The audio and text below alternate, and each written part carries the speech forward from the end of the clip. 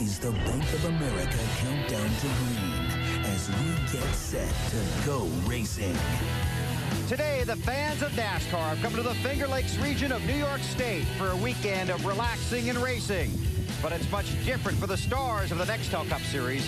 They must share the stage with one of the most demanding tracks on the circuit, the winding road course at Watkins Glen. A big day at the Glen just ahead of them, and a big day at Indianapolis just behind them. What could have been a day of disappointment. Oh, Jimmie Johnson got some trouble. Turned out to be a dream come true.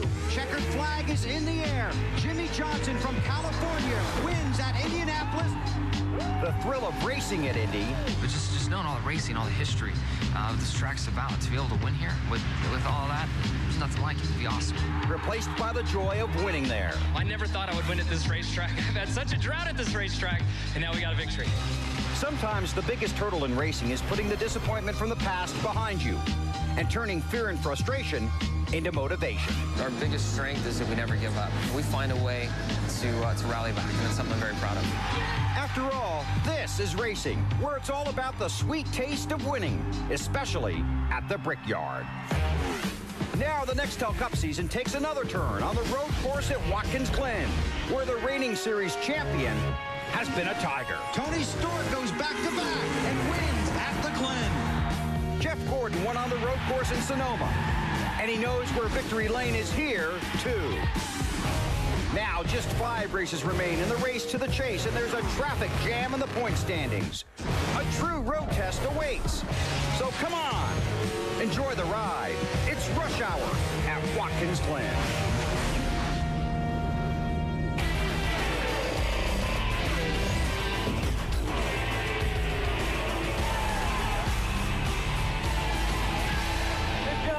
Good job.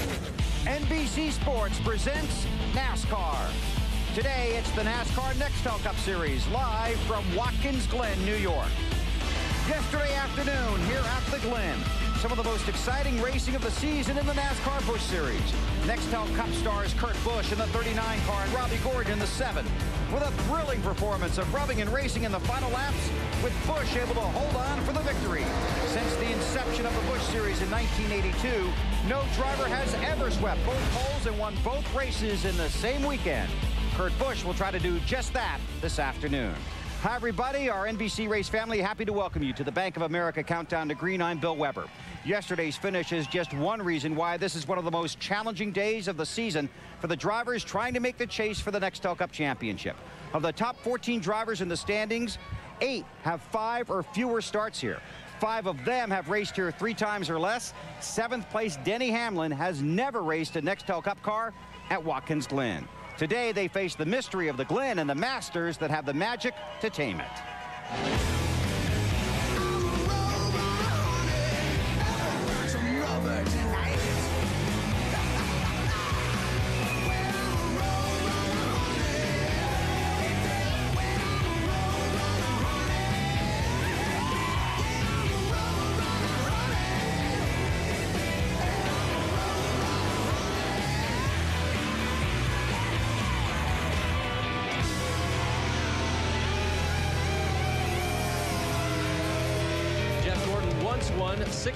Races in a row. That is a Nextel Cup Series record, but he was, hasn't won here at the Glen since 2001. What about it, Jeff? Is the car right today? Can get back to victory lane here? Well, we weren't as good as we were in Sonoma uh, during practice yesterday, but I feel really good about the changes that Steve and all the guys in the DuPont Chevrolet made. Um, we got a good starting position, better than we had in Sonoma. So, you know, we're going to fight hard and, and see what we got for these guys on the longer runs. I think that's where we might have something that we didn't see in practice yesterday. Never really made a, a run over five or six laps, and not many guys did. So that's where I think this race is really going to unfold. All right, good luck today. This is the 24th time that Cup cars have raced here. Could be a good omen for the 24 today. To Allen Bestwick. With Tony Stewart, who has won three of the last four races here at Watkins Glen. He's chatting with Kevin Harvick. Tony, how did this car compare in practice yesterday to your past winning cars here? Uh, it's the same car, so um, hopefully it'll stay in its winning ways. So uh, we got 90 laps to find out, but I'm pretty happy. It ran really good in happy hour, so uh, really excited about it and ready to go. All right, good luck today. Tony Stewart starts eighth. Here's Matt Yocum. And impressive car control by Robby Gordon yesterday during the NASCAR Busch Series race. Is that the type of race we're going to see today out of you and everyone else, Robby? Uh, you know, when it comes down that last lap and uh, and you want to do everything you can to win, but Kurt did a great job yesterday. Um, you know, that, that Penske power was pretty awesome, and, and I was really happy with uh, what the guys at Menards gave me and obviously the Harris Chevrolet, but had good pit stops. Uh, if we can do the same thing in our Jim Beam Chevrolet today and put ourselves in position, you might see a finish just like that again. And the guys you said you were probably not going to have to battle like you thought you would here today. Um, you know, I think that um, I think today that you know it's going to be a good race. Uh, there's a lot of guys uh, right there on the outside of the points. Probably my most competition in the field is just sitting there. Uh, I think they're ninth, eighth, ninth, and tenth in the points. So um, it's going to be interesting to see how it goes. And he is one of four guys. Go ahead and jump on your truck, Robby. One of four guys to win a road course race in Nextel Cup since the year 2000. Bill. Thanks, Matt. That's the first lap. Plenty more coming up, including Indy winner Jimmie Johnson on the Bank of America Countdown to Green from Watkins Glen.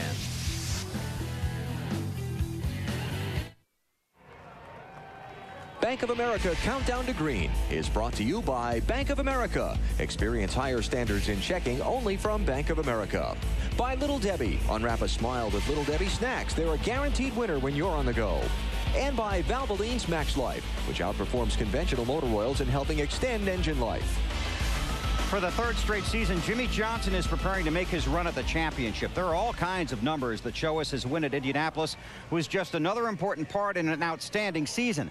But what history cannot record is the happiness and the relief of winning a race where the biggest reward is a single kiss. Now, this week's Bank of America Higher Standards moment. Checkered flag is in the air. Jimmie Johnson wins at Indianapolis. I never thought I would win at this racetrack. I've had such a drought at this racetrack, and now we got a victory. One, two,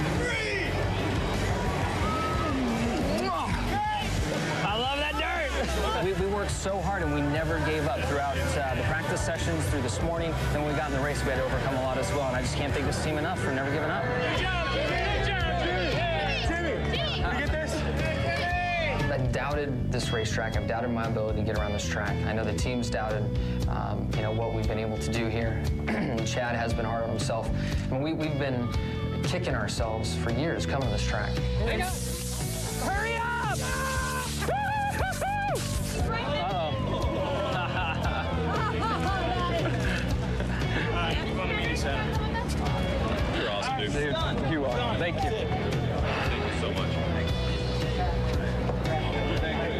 Want to go sit down in the corner and let it soak in. Done. Jimmie Johnson holding that Brickyard trophy. You have won two of arguably the biggest races in this series. As time's going on, it's really sinking in. Dale Jarrett, you know, amazing race car driver, is the only one to ever win the 500 and the Brickyard in the same year. Con Jimmie Johnson, il vincitore della 400 miglia di Indianapolis, tra l'altro abbiamo scoperto che è appena stato in Italia, è appena stato a Portofino. Give me five.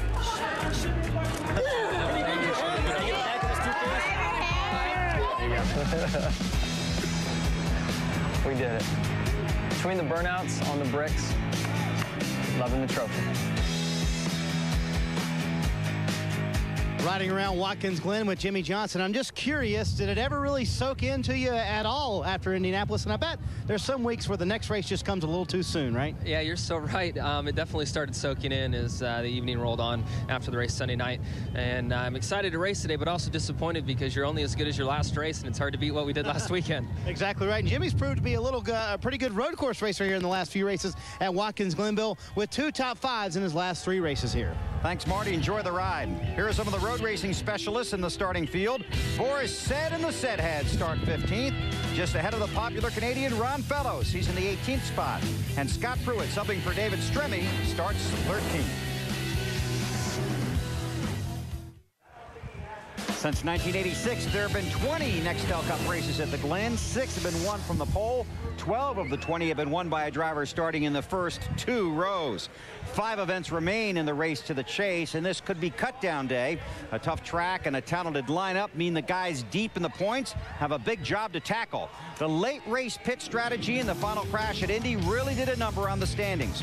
Johnson continues to hold the lead over Matt Kenseth. Jeff Burton finished 43rd here last year. Sixth place Mark Martin is just 137 points in front of 11th place Kasey Kahne. The maximum point gain possible in one race, 156. And really the positions from Martin on back to Carl Edwards are all up for grabs. Edwards has just one start here. Today, Kasey Kahne makes just his third start at the Glen, and he's with Dave. And last week's last lap crash knocked Kasey from chase contention for the first time since Daytona in February. So, Kasey, can you road race your way back in today? I hope so. You know, last week hurt. That wasn't a wasn't a good thing. So, we need to get a good finish today. And uh, I've been saying this for a couple weeks and hasn't been going on. So, we'll see what happens. But I think we have a have a good Dodge Charger. We just need to uh, keep the brakes on it all day and uh, stay out of Robby Gordon's way. He's going to be charging, I think. Kasey looking for a good finish in his fifth win of the season. Matt? Greg Biffle 12th in the championship standings, but he starts at the back due to a crash in practice. So does that incident change your target as far as goals this weekend?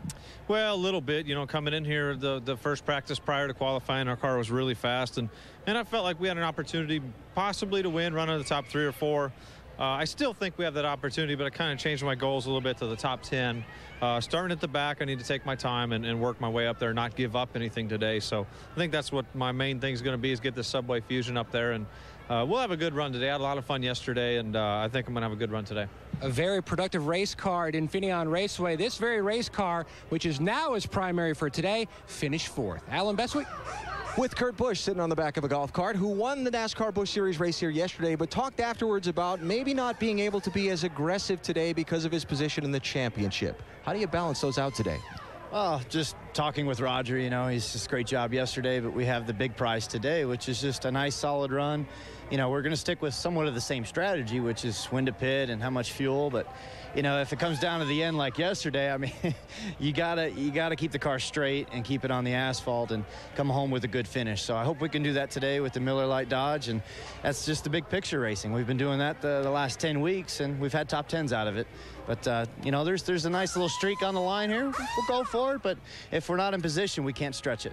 Kurt Busch starts on the pole today. Bill? Thanks, Alan. We'll see what happens. Mark Martin won this race three consecutive times, a streak that started in 1993. He won all three from the pole, including his last win at the Glen, August 13, 1995. Exactly 11 years ago today.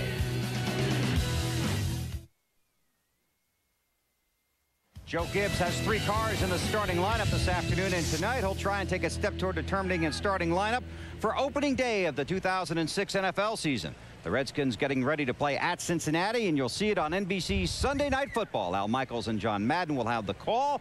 With more from Cincinnati, here's Andrea Kremer. Thanks, Andrea. We'll be watching a guy trying to quarterback his way into the chase for the Nextel Cup championship is Dale Earnhardt Jr., and he's with Dave. And with Junior right now, and, uh, and, and Redskins fan himself, by the way. Hey, last weekend, not a great race car, but great strategy at the end. Put you back in the top 10 in points. This weekend looks like you have a pretty good race car. Can you win? Uh, my car can win. I don't know if I can. Uh, we uh, we've had some fast laps, and my car, my guys, uh, Tony Jr. and the entire Bud team, they give me such an awesome car.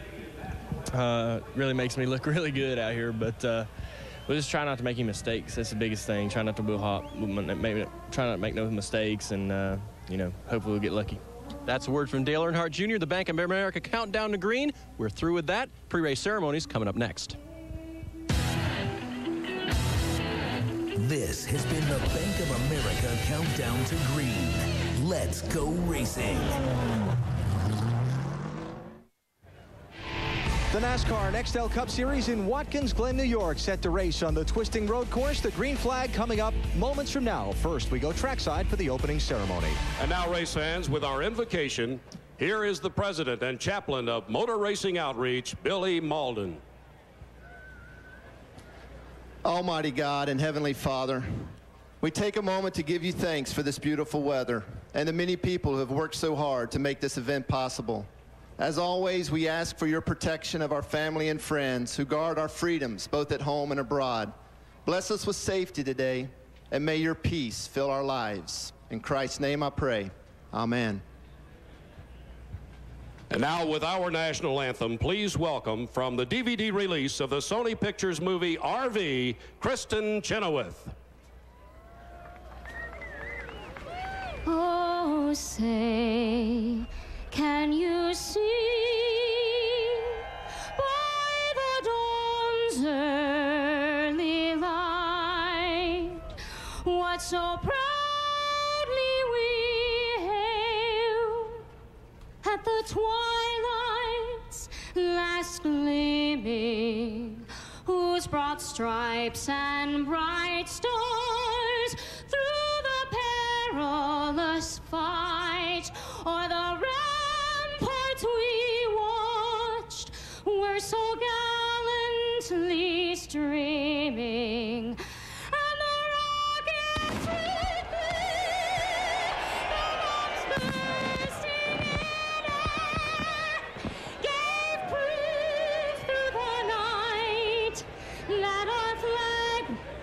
Was still there.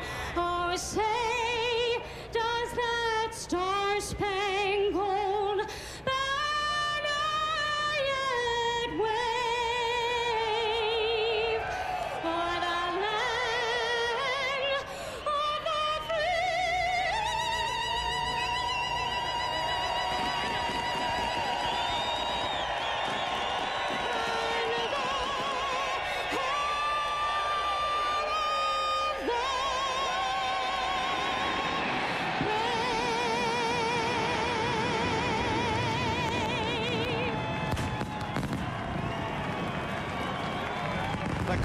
and the competition of the NASCAR Nextel Cup Series on the road course at Watkins Glen.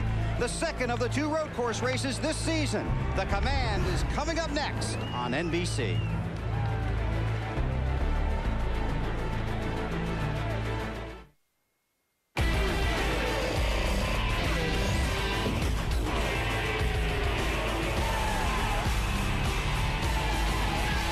Good job, guys. Good job. NBC Sports presents NASCAR. Today, it's NASCAR Nextel Cup racing from Watkins Glen, New York. Five former winners at the Glen are in the starting field today, including Kyle Petty, who drove to victory lane in a rain-shortened race here in 1992. Hi, everybody. Bill Weber along with Wally Dallenbach and Benny Parsons. Thanks for having us in for the race. The day Kyle went to victory lane was a wild afternoon here at the Glen. We expect to see more of that today. BP still a little bit under the weather, but you got to be a race fan yesterday. I imagine you liked what you saw. Bill, I loved it. What a great race between Kurt Busch and Robby Gordon yesterday. Last lap, that's what you want to see. Somebody trying to win on the last lap. Watch this. Robby Gordon through the grass on the inside and bangs into the 39 car. The 39 car goes through the grass and holds the lead and goes on to win. But exactly what you want to see, guys trying to win on the last lap. But Wally, today, Kurt Busch in his in victory lane yesterday and earlier today said that with that two car trying to make the chase for the NASCAR Nextel Cup, he can't quite race like that on the last lap. Well, we'll see. I mean, some of these guys are definitely going to be points racing, but I think all some of these guys are hired to do a job, like Scott Pruett, and they're trying to keep the car in the top 35 in points. But if you get down to the end of it, and these guys can smell the front, guys like Robby Gordon, if Robby Gordon's up there, he's going for it. He doesn't have no points to worry about it. So hopefully Robby Gordon will be up there because I think it's going to be a fun race. It, they always say they're points racing, but when it gets close, different story. Now, when they throw the green flag here, the leaders will be at the front of the field, but the real racing will be going on about the middle of the field back. Yeah, it, it really will. uh, It's kind of weird on this race because, especially when we get into strategies a little bit later on what everybody's doing, but everybody's going to settle down in the front. But you're right, Bill. The middle is going to have some great racing. There's some good guys trying to get track position, and it should be fun to watch. It was a blast on Saturday afternoon. We expect the same this afternoon. It's a beautiful day here, temperature in the upper 70s. The sun is shining, and the fans have come from all over the Northeast and around the country to watch the stars of the NASCAR Nextel Cup Series compete on a road course for the second time this season. The words you've been waiting for? Let's go trackside and get the command. And now, race fans, it is time for the most famous words in motorsports. Once again, our Grand Marshal, AMD Executive Bill LaRosa. On behalf of AMD around the world and all of our employees, gentlemen, start your engines!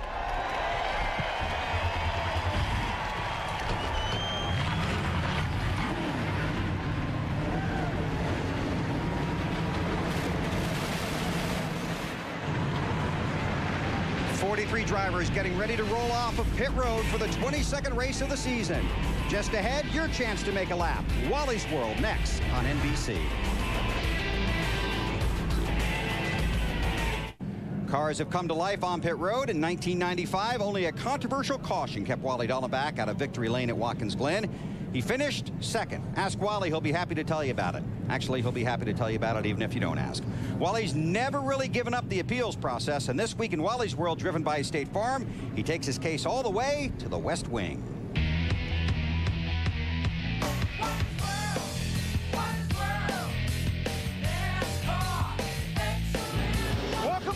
My State Farm car today, starring in the movie RV, Kristin Chenoweth. Welcome aboard, Kristin. Hi. Ah! Oh my God! We're not, we haven't even left pit lane ah! yet. You can go straight now. Now, should there be smoke? No, there shouldn't be smoke. Now, I assure you this will be a much smoother ride than that RV you were driving around in. So, ah! I'm not even at a second oh, gear yet. Wow, what octave range is that? Oh are you is that a four or oh five? Oh my God! I've got to get it out of second gear. No! No, you don't! There we go. Oh my God! Now listen, you, you've got a great resume. I mean, you're on West Wing, the Broadway play Wicked. Now, were you a good witch or a bad witch? Would that be a good witch? I always looked up to the bad witches. Oh! Oh! Oh! Oh! Now, what about that DVD you're carrying? Did you want to say something about that?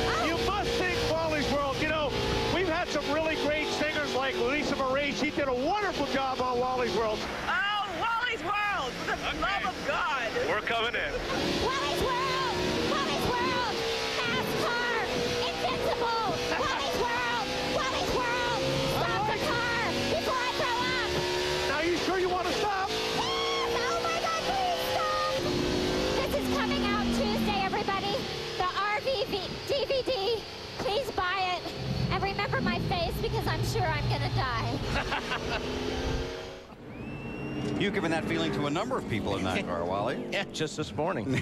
I went to the track. Well, I think the Emmy is secure. uh, uh, Budweiser, the official beer of NASCAR, is the proud sponsor of the Budweiser Pole Award, given to the fastest qualifier at each NASCAR Nextel Cup Series race. Budweiser congratulates Kurt Busch, his third pole of 2006. We'll see him in the shootout at Daytona in 2007.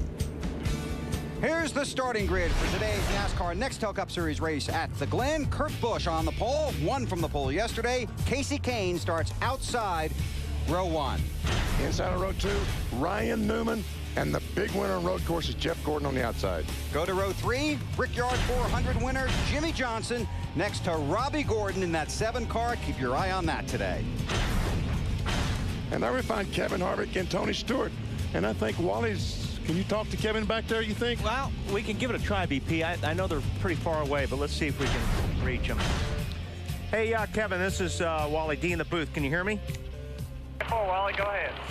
Well, it was fun for us yesterday. I don't know how it was out there for you, but uh, it was a fun Busch race. Uh, what's your guys' strategy for today?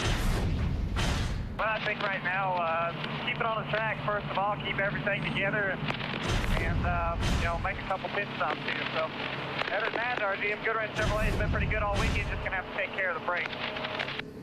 Yeah, that's a big issue here. Everybody knows that for sure. What um, are you guys? Do you have a plan, and you are just going to stick to the plan no matter what, as far as making your pit stops and strategy today?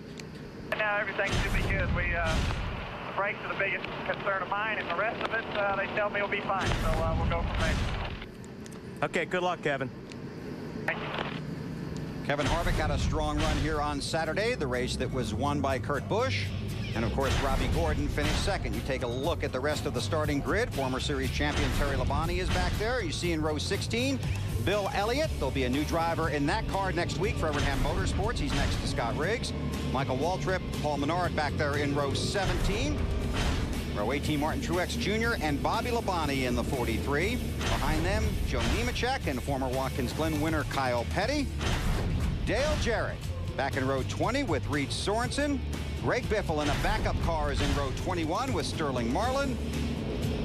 Brian Simo starts 43rd this afternoon here at the Glen. Take a look at the guys that did not make the race and the guys that are going to the back. Mark Martin with an engine change. He's back there with Sterling Marlin, Biffle's in a backup car, and Marc Goossens also going to the back, the young driver from Belgium. Field working pace laps here at Watkins Glen. The green flag coming up after a final report from pit road when we come back to the Glen. NASCAR Next Nextel Cup Series racing from Watkins Glen is brought to you by Budweiser, the official beer of NASCAR. This is Budweiser. This is beer. By Nextel, only from Sprint. Get closer to the NASCAR Nextel Cup Series with Nextel. By Toyota, choose any direction as long as it's moving forward. Toyota, moving forward. And by DLP Technology from Texas Instruments. HD TV doesn't get any more real than this. Cars are on the track. Let's get the final stories from pit road. Here's Matt. Bill, you've already heard a lot of concerns about fuel, brakes, and also trying to conserve and pad point leads. But if your boss said, that I think is where the e-ticket rides is today, back in the 15th position. An impressive road course specialist with awesome credentials. And his goal today, just one, go to victory lane. He doesn't have any concerns about points. This is his final race of 2006 in the 60 car. He has a lot of success in NASCAR. He's got a first in the Truck Series, a second in Busch, and he has a third right here in Nextel Cup. He says, keep an eye on the 60 today. He has a great race car, and he intends to show it and become the first road course specialist since Mark Donohue back in 73 to go to victory lane. Dave? Matt, here's what road course specialist Ron Fellows has at stake today. His team that he's driving for this weekend is in the danger zone in owner's points. They're 37th. They had no guaranteed spot in today's race. They hired Ron to first of all qualify them into this race and then to hold a position that might get them into the owner's points next week. So Ron isn't going to do anything stupid out there, even though he's a very good road racer. What it does mean he's in his comfort zone. If he can race for the win, he will. Watch Fellows today. Marty? Well, Dave, let me give you the other end of the spectrum with several guys in this field who aren't so good at road course racing, including some battling for the championship, like Kyle Busch, who is currently fourth in the championship standings or tied for fourth in the championship standings, who admits this is not his best thing, not the best discipline that he does. He told me a moment ago, if I come out of here with a top 15, I am happy today. When they listed the tracks coming into the chase, they said, you know what, this is the number one track we're worried about, Watkins Glen. If we can leave there with a top 10, top 15 finish, it's almost like a win win for us. Alan? Well, Marty, let's talk about something a lot of the crew chiefs face today, and that is an unusual pit strategy. You've already heard Fuel alluded to a couple of times on the broadcast. Where normally on an oval track race, you start at the green flag and run as far as you can on fuel before pitting. Because you can run a green flag pit stop here at Watkins Glen without losing a lap, things are backwards here. You start at the finish, lap 90, and subtract the number of laps, pitting as soon as you can. If you stop sooner than everyone else and get lucky and catch a caution flag, the rest of the cars pit under yellow and fall in behind you on the racetrack. You've just gotten a free pass by all of those cars on the speedway. One of these teams, perhaps Kurt Busch's, perhaps Robby Gordon's down the turn one end of pit road, might catch that lucky caution today. It might be the difference between winning the race and finishing, say, 15th. Bill? Thanks, Alan. You guys have a great day down there. To see the entire pit map, go to NASCAR.com's homepage and click on Pit Map. Jimmie Johnson, a winner one week ago at Indianapolis, trying for two in a row. The conversation on his radio just a few moments ago.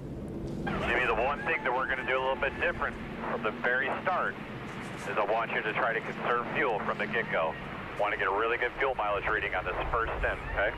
Easy into the corner, short shifting, doing all that kind of stuff. No scrubbing the tires under caution. And don't get passed. Other than that, uh, you know, that's going to be tough to do. I mean, obviously, the short shifting is, is something you can get away with, but, um, or you've got to run hard down into these corners. Or, you know, these guys are going to be all over you under braking. And road racing, I love it because you see more strategy at road races than any other racetracks we go to. These guys are going to pit as soon as they can get within a window. Take a look at our Chevrolet drivers to watch. Jeff Gordon, of course, the king of the road with nine road course wins. Tony Stewart going for three in a row here. Earnhardt Jr.'s best road course finish a third. Jimmie Johnson coming off the win a week ago at the Brickyard 400. So set up what we're going to see when they throw the green flag here is everybody charges for one. Well, really what you want to do is you want to be single file going up through the S's. So you know, whether you're on the inside or the outside, you need, whoever you're racing with, you need to give a little bit and get single file because you can't run side by side up through the S's without bumping into each other or causing a problem. Or losing a lot of time on the guys that are running single file through there. Because you have to be real careful getting through one. Hopefully everybody will get through there without making a mistake on downshift or braking because everybody's so close.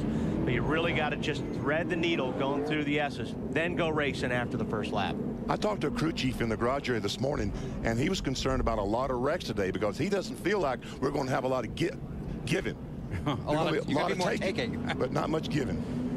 Well, yesterday in the Busch race, we saw a lot of that giving earlier and a lot of that taking later, didn't we? We'll see what happens here this afternoon.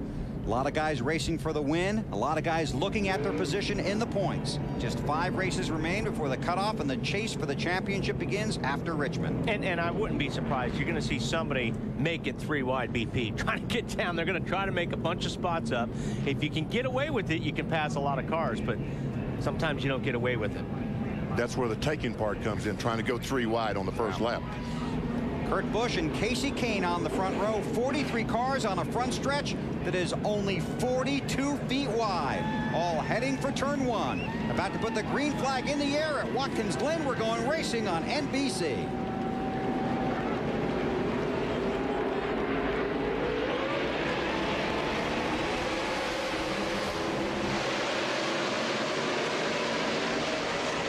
Oh, man, oh, man. Kasey Kahne got in the back of Kurt Busch. Slides off. Going to lose some spots, but I don't think there's any damage to his car. Boy, did a good job getting back in line there and a lot of traffic. If going through the dirt didn't hurt his car. Black flag for the 90 car. Passing to the right on the start.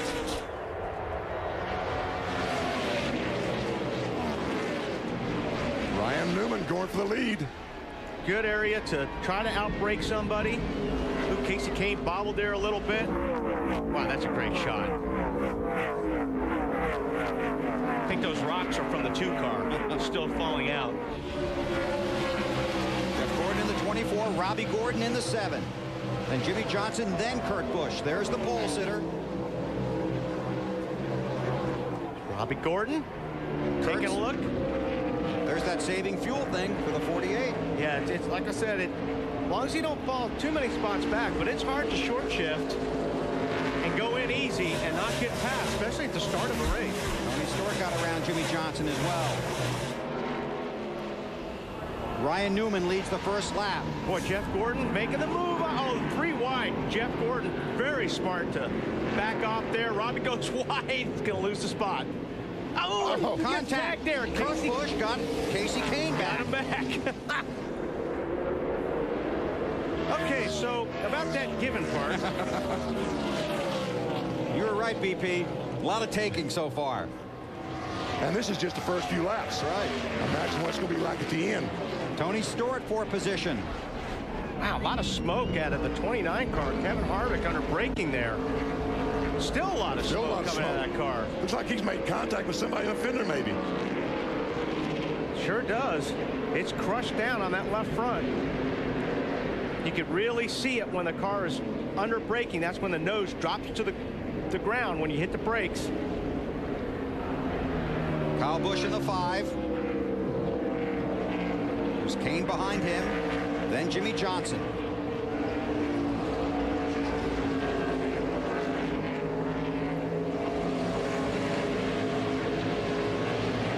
Completing the second lap here at the Glen. Newman tries to move away. Wow, Kurt Busch underneath Robby Gordon takes a spot. Like Robby Gordon's having a hard time in turn one right now. Also in the garage here this morning, they talked about the 20 car and just how fast that car is. Robby's car looks like it might be a little bit tight. Can't turn the car. No front grip. Saw some penalties back here at the bus stop or the inner loop yesterday. More on Robby Gordon from Allen. Hey, Wally, I really hate to contradict you, but Robby just called in on the radio and said the exact opposite. Said the back end of his car is what's wiggling around, very loose right now. That's the report. So he's got his hands full. Yeah, Yes. right. Ryan Newman finished second his first race here in 2002. A lot of smoke up Yeah. Harvick's car there. Oh, Kyle Busch almost missed the corner. He just made it a little bigger than it normally is. Kyle in the five. Kurt Busch on the move to the inside of Jeff Gordon. That's for second. Falls in behind his teammate Ryan Newman. And Stewart takes a spot from Robby Gordon. That's for fourth. So two of the cars we expected to be strong, the two and the 20. Oh, Terry Labonte. DLP car. Definitely Broke the not- rear end. Broke a rear end. Straight to the garage. and there's Reed Sorenson. There's Terry slowing down right there. Pulling off to the side. And then we'll cross the track after it's clear and go to the garage. Dave? They are reporting a broken rear end on that race car. Second and third gear broke. Man, transmission and gear. Yep, transmission and gear. BB's thing. Wow. That's too bad. Terry with a lot of success here at Watkins Glen. Tony Stewart working over the back bumper of Jeff Gordon. See what happens as they head for one. Yeah, Stewart's car looks pretty good right now. A little bit closer to Gordon to try to set him up going, try to outbreak him here in turn one. Working lap five. Let's take a look at how the race started. And it literally started when the green flag came out. Yeah, look, you see Kurt Busch going down, and I think Kasey Kahne went to block, protect that inside, and he just got in way, way too deep. He tried to block Newman, and he got into uh, to Kurt. And Robby Gordon on of Jeff, but he gets his angle all wrong getting in the corner. Can't make the corner. And there you see Kurt Busch come up and get Kasey Kahne back. A lot of fun stuff early here at the Glen. Uh-oh. Somewhere in that dust is a car. Elliott Sadler, I'm told. Down now. Caution down now. And that's very likely, or this race is very likely Elliott Sadler's last race for Robert Yates Racing.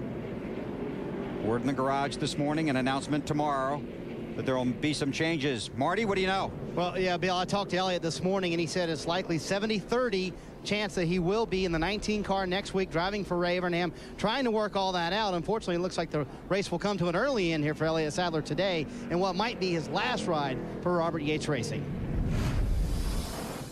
Back at the bus stop. And he got turned. Casey Mears helped him turned him, little yeah. And that M&M on the back says it all. So Elliott Sadler's days at Robert Yates Racing in a cloud of dust. Under caution at Watkins Glen with Ryan Newman, the race leader. Still working caution here at Watkins Glen. Take a look at our AutoZone in the zone drivers for the 2006 season. Kyle Busch with four top 10 finishes in his last five races. Matt Kenseth with those 11 top fives. And Kevin Harvick, one of the hot drivers as we head for the end of the race to the chase for the Nextel Cup Championship. Elliott Sadler, the only car headed down pit road. We'll take another quick break and come back to the Glen. You're watching NASCAR on NBC.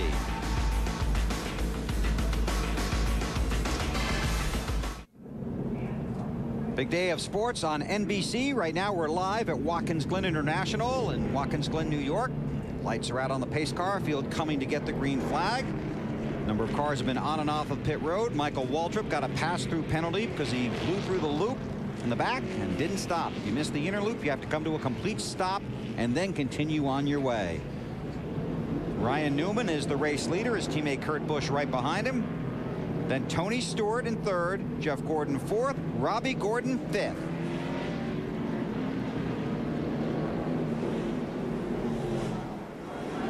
Probably not for long. Ready. Ready. Great, great, great. You'll be seeing some cars pulling over to the right. And Kurt Busch goes after his teammate. Tell you what, he's been getting in turn one really, really good. Made most of his passes right there under braking. And Kyle Busch goes by Robby Gordon, take over that position.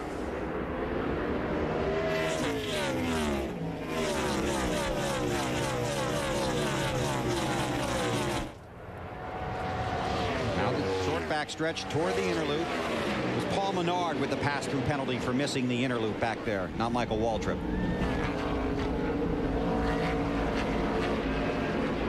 Stewart runs third. There's Jeff Gordon.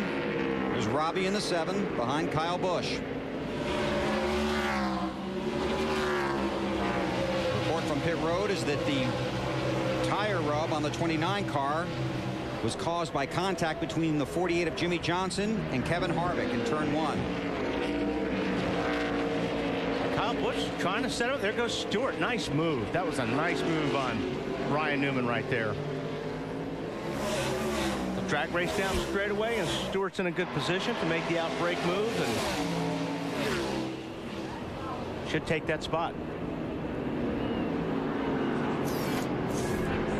How much give there. Much but Stewart's in the better position going into turn two here. Tony Stewart takes second.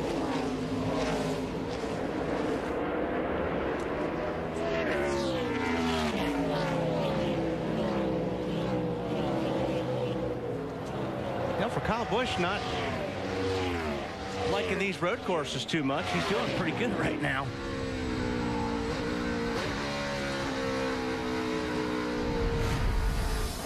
This is the contact we talked about between the 48 of Jimmie Johnson and Kevin Harvick. Right side, right side. Yeah, Bill, even that slight bit of contact did it in the left front fender of the 29 car for just a little bit, and it's only under heavy braking that it really affects that left front tire, but the tire rub has seemingly gone away. Since then, Jimmie Johnson has radioed to his spotter to apologize to Kevin Harvick under that last caution. He did that. Kevin said, no problem, it's a long race.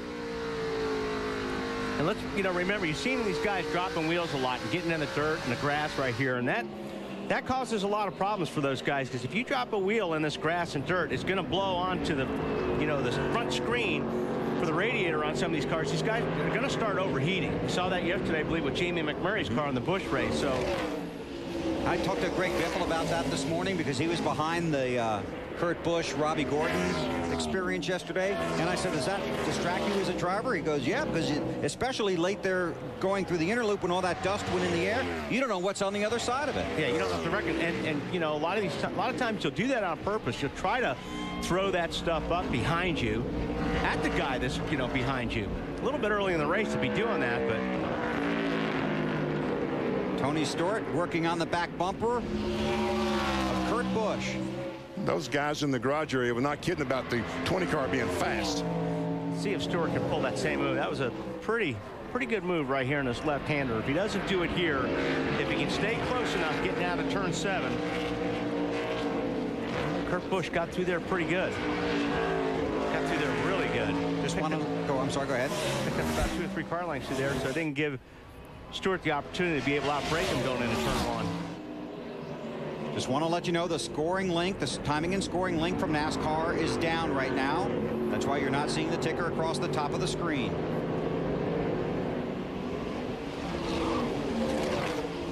Robby Gordon in the seven car. This was their radio traffic just a little while ago. We may win the race, but I can tell you we brought a sword to a gunfight as far as the motor count. We lose as much today as we did yesterday on the straightaways. Frustrating for a driver. I mean, there's nothing you can do about that when you're getting out driven on a straightaway. And that's what Robby's complaining about. He just doesn't feel like he's got as good a motor as these guys that are in front of him right now. What did he say? He brought a sword to a gunfight? Yes. That usually doesn't work out too well. Boris said he's got cameras all over the car. That's a great shot looking back at him. Gives you kind of an idea of how you look at the wheel, you look in the mirror, you're shifting. Takes a look at his gauges. I think he was waving to the crowd there. I'm not sure what that was, but wouldn't surprise me. Yeah. Goes through the left-hander. Back to the right-hander on the straightaway. Let's see. Let's see if we stay with the shot. See how big his eyes get when he gets down to turn one. That's takes a look in the mirror, see where competition is. You have to use that mirror going to one, right? Because you want to know if you're being set up. Yeah, you really do. You have to look at have to look at the mirror all the time when you're coming off the corner to see how close that guy is behind you. Because you know if he's close behind you, he's going to make a move going into one. So you got to decide whether you're going to just let him make that move or possibly block him. So every time you come out of a corner, you're looking up in the mirror. Like right there, he takes a look. He wants to see how close these guys are behind him. So he knows how hard he's got to drive into the next corner to try to save that spot, or like I said, block a little bit. Right behind Jeff Burton. Here's uh, foot cam. The dance. The dance. And, and, you know, he's one of these guys that is a right foot breaker. I think most of the drivers now are left foot breakers. We use our left foot on the brake pedal. We never take our right foot off the gas. But if you watch going in, he'll take his right foot off, gets on the brake, heel and toes downshifts. That, it's just a lot of work for your right foot to do. Now, if you saw his left foot came over and pumped the brake, and that's one thing you'll find a lot of guys doing at Watkins Glen, these brakes get soft because they get hot.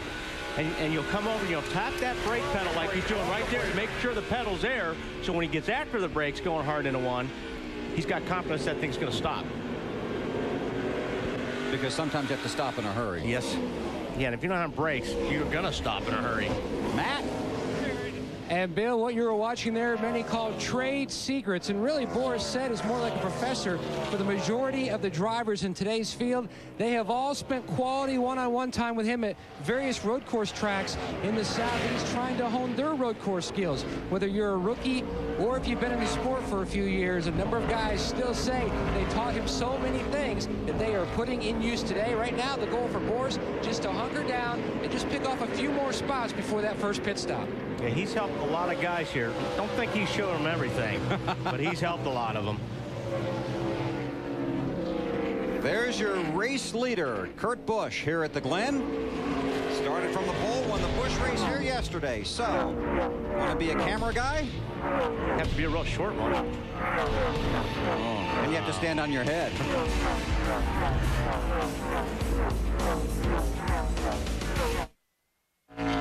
Kurt Busch continues to lead here at Watkins Glen.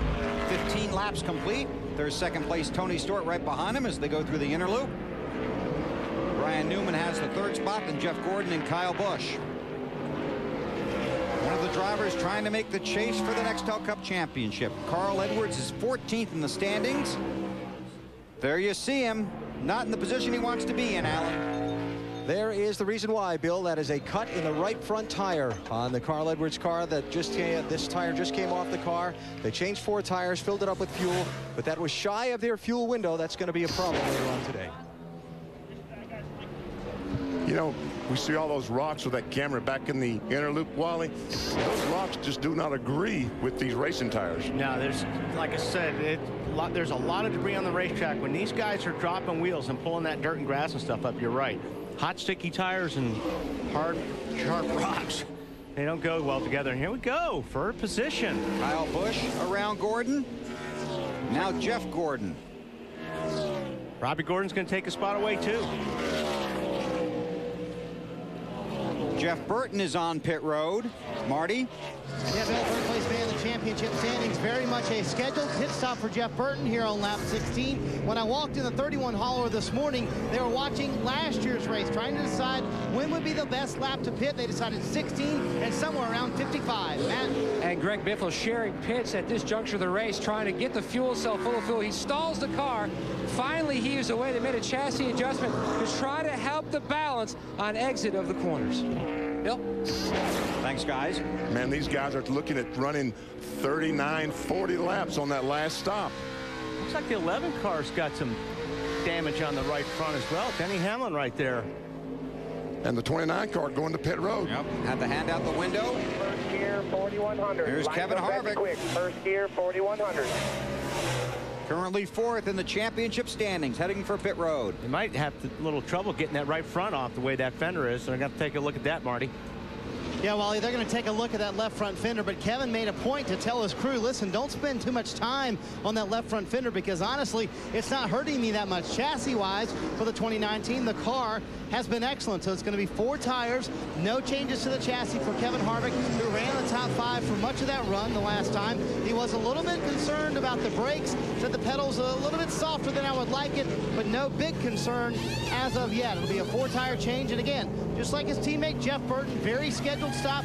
They too planning on pitting for their second stop, like around lap 55. Well, the strategy begins. Boy, early, doesn't it?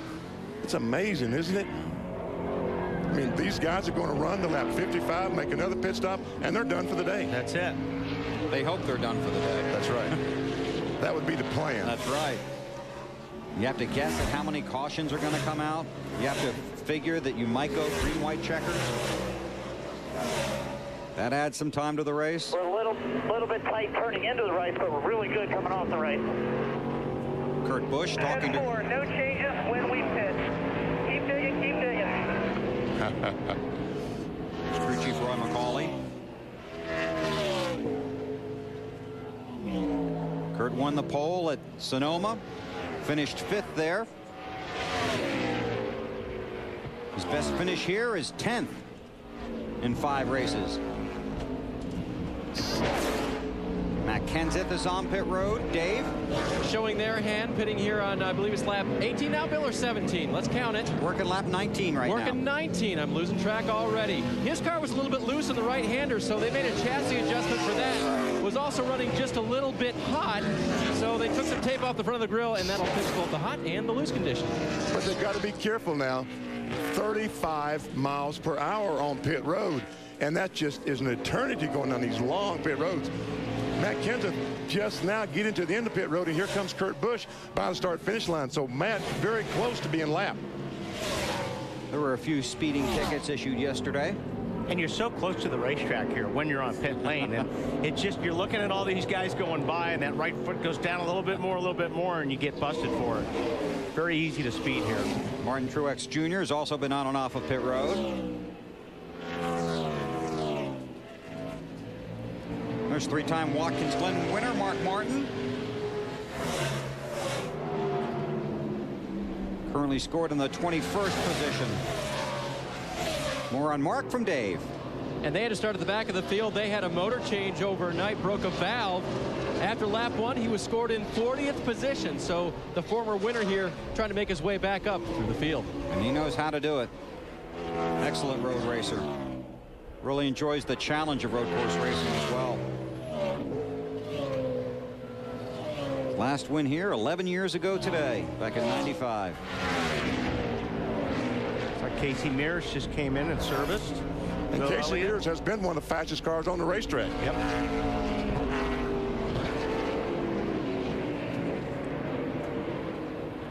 There you see Kenseth. And drop back and see the race leader, Kurt Busch, while his brother heads for pit road. So that's what Benny was talking about. You stop, get your pit service, then you have to tiptoe off of pit road, and you have to hope you can hang on to the lead lap.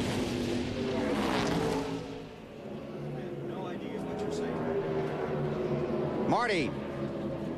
Well, Bill Kyle Busch has been quite impressive in the early run here, running in the top five for much of this run. And uh, he said the car, it just needs more forward bite off of the corners. Just does not have enough rear grip for him. They take a pound out of both rear tires, trying to help him off of the corners, especially. He said also he's a little co- concerned as well about his brake pedal, a little softer than he would like, but an impressive run so far for Kyle. Matt?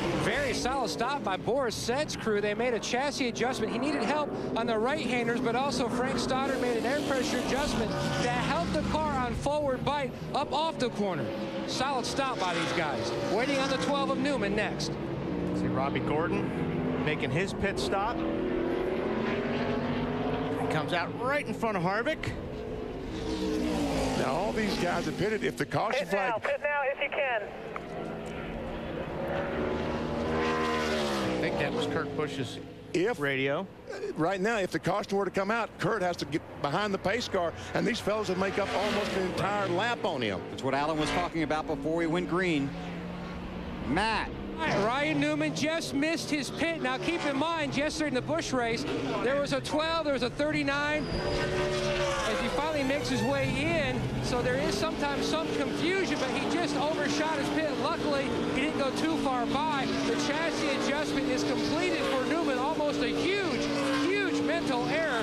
Everything was good on the car except a small balance issue in the S's.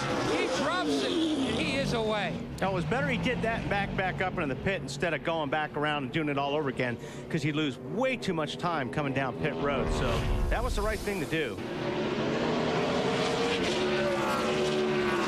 There he is coming on to pit road. I just went by my pit, he said. Matt? Bill, it's funny because I had a conversation with Ryan's father, Greg, this morning. He says, I'm surprised that more people don't have issues with their pit board signs just because of those different numbers that Ryan has driven in the past. He has a huge A on his pit board sign here as his teammate Kurt Busch and then Tony Stewart making their way down pit road. A lot of times, I'll always have my guys count me down. Uh-huh. When they see me five away, they'll go five, four, three, two, and then that helps you dial in where you're supposed to pull in. Tony Stewart heading for his stall. Allen. And a little head-to-head battle here of these pit crews, as you see. Stewart closing right up on Kurt Busch as they made the entrance to the pit road.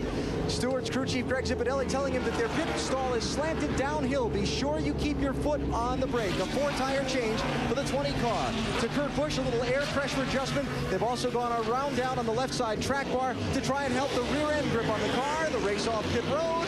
Doesn't get much and better than Kurt's that. going to hang on. Oh, just barely. But did you see how much space that Tony Stewart made up getting on the pit road? Mm-hmm. And they got to go.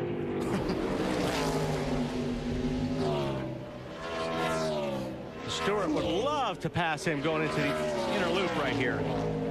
Tony was hustling getting off. Yeah, of pit he's, you know, that's time you got to make up right there. And Dale Jarrett is right in front of them.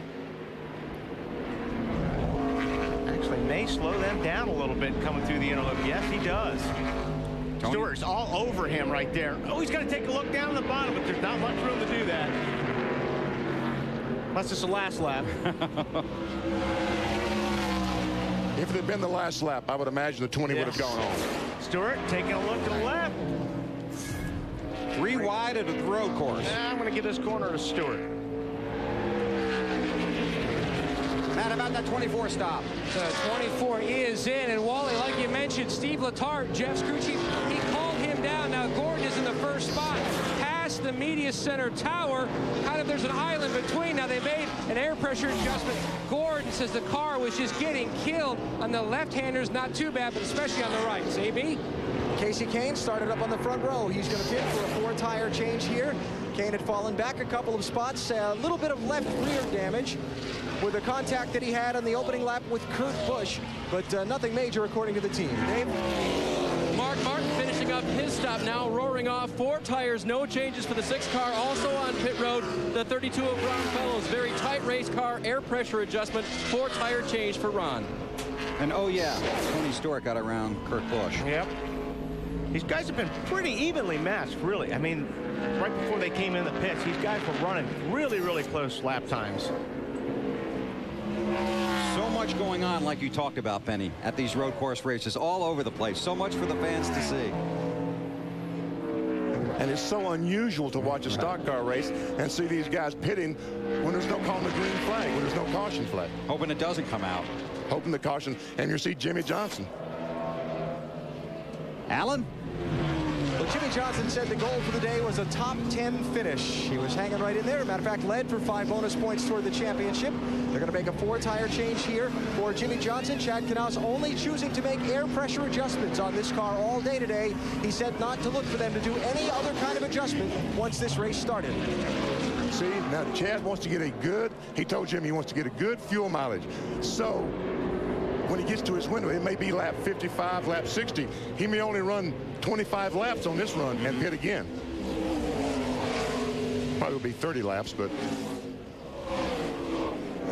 New race leader, Dale Earnhardt Jr. Forsett spins. Down in turn one. Come on, man. Shiny got plenty of room. One more to come. All yours now. All yours. He was in the 22nd spot. Matt? And keep an eye on the front. Tony Uri Jr. back out of retirement due to issues in the rehab of Chris Crumley. He practiced with the team this week. Walt Smith, the pit crew coordinator, told me it was almost like Tony never stopped changing tires. He was in the low 13s, waiting on the fuel. Small air pressure adjustment. Jr. said he needed help with forward bite, but also the car just too tight. They worked on that as well. Tony Uri, he was as good as the rear man. Let's take a look at what happened to Forsett. Just a moment ago. Yeah, we were way into it there Yeah. when we caught it, but Hard to tell if he just wheel hopped going down in there or. Ah, this will give it. Wheel hop. On the brakes and you get on the brakes too hard, the front goes down and the rear wheels are like on two big pogo sticks and it just jumps down the track. Scott Wimmer and Kyle Petty have not pitted. They're scored first and second right here at Watkins Glen. You're watching the AMD at the Glen live on NBC. NASCAR Nextel Cup Racing from Watkins Glen is brought to you by Bank of America. Experience higher standards in checking only from Bank of America. By Napa Auto Parts. Napa, get the good stuff by Applebee's Neighborhood Grill and Bar. Eating good in the neighborhood, Applebee's. And by Ford, bold moves. A left rear tire on the five car of Kyle Busch. I'm coming to you. I'm knocking everything out of the bottom of it. That has brought out the caution here at the Glen. As well. Lot of smoke out of the back of that car. Terry Labonte has returned to the race. This is coming out of the inner loop and whatever let go happened right there coming out of the inner loop on Kyle Busch's car. It's like something that the powertrain broke and, and blew the left rear tire. Marty, you got more on this? Yeah, yeah, they've been on the radio talking about it for a while. They didn't know what it was. Terry Labonte was behind that, and he radioed over to the team and said it looked like to me that the rear track bar broke, and that maybe might be why the left rear tire is uh, has gone down. Obviously, they have to lift up the car. They're going to change four tires here, get that on, and they, they say it is indeed a broken track bar mount. That's what they're talking about right now. They're going to have to wheel it back to the garage and go fix it. This is the team tied for fourth in the championship standings. And remember, the first thing Kyle told me about, we talked at the beginning of the show, they just wanted to leave here with a top 15. This will put them in the garage for a while. This is not going to give him a top 15, Marty, that's for sure. This guy's been having some troubles with sway bars and That's things right. like that. And right now, Kyle Busch, as they run, third in the championship standing. Scott Wimmer to pit road, but he's got a speeding ticket. Elliott Sadler is the lucky dog.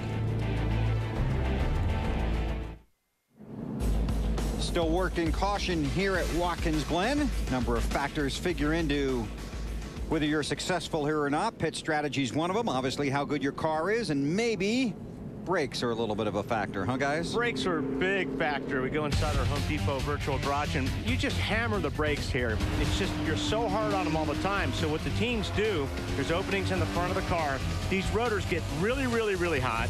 And if they get too hot, they'll even boil the fluid in the caliper. So what the teams do, they run as many hoses as they can, pointing at that rotor, try to blow air towards that rotor to keep the brakes as cool as possible. A lot of guys will even run fans on some of these hoses. So that's one thing they do on a racetrack like this is just try to keep them as cool as possible. And we've heard most of the drivers today complaining about brake. A lot of drivers complain about brakes already. And P.J. Jones exploded one of those here, right down here a year ago, right? Right. Then spun the car out, put it into the wall because he didn't have any brakes.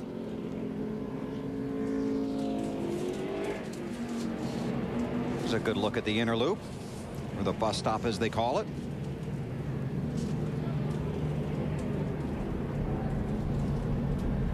An update on Tony Stewart from Allen Bestwick. Yeah, Bill, you saw the racing back and forth between Tony Stewart and Kurt Busch, which Kurt is now in charge of. Tony talked about not wanting to run as hard as Kurt at this point in the race. And under this caution, he and crew chief Greg Zipadelli had a discussion about saving the brake system for the end of the day. Zippy telling Tony, in the big picture of things, it'll pay bigger dividends for them to have a little bit more left in the final laps of the race than it will to run that extra bit hard right now. So you know what you've got, but you want to have it at the end. Well, a lot of times you get these things too hot and they never come back. Mm-hmm. And, you know, that's another problem. You can run them really hard, glaze the rotors. Um, they just get so hot, they just they turn blue. And like on PJ's deal, I believe that's what some of it was. Okay. You know, it just got so hot. And also the brakes, what happens is they get so hot and they cool hot and so cool that they warp the rotors. Those big rotors warp. And that's what happens going down the straightaway. They knock the pads back. So when you get to the corner, you hit the brakes. That's why the pedal goes down so far is because of warpage in the rotors. So that's why you see these guys pumping them. What they're actually doing is they're pumping the pad back to the rotor. So when they get to the brake pedal, the pads are on the rotor and they're there. There's not that gap because if there's that gap, the pedal will go further down to the floor. Race leader is Kyle Petty. Matt, they're coming to get the green. And his guys are waiting for him to come to pit road so they can fuel the car and put tires on it. They were staying out to get their five bonus points. And, you know, the 92 winner, he has said a number of times they feel like this team continues to make small steps, already building more and more for next year. And Kyle follows the pace car down pit road. And look at those cones up on the fence, though, Bill. They put those up there because guys couldn't see the restart point yesterday. And that's a big factor. Kurt Busch, the pole sitter, is the race leader. Green flag out again at the Glen. Kenny Schrader there in the second spot. You see all these guys diving to the right. Casey oh, Mears oh my is going to take about three of them on this restart. And I think Jimmie Johnson and Harvick ran into each other again going down there in turn one. Had an incident between those two earlier in the race. Knocked in the front left fender, front right fender actually. It wasn't left fender of the 29 car. Left fender. Yes, left front Yep. fender.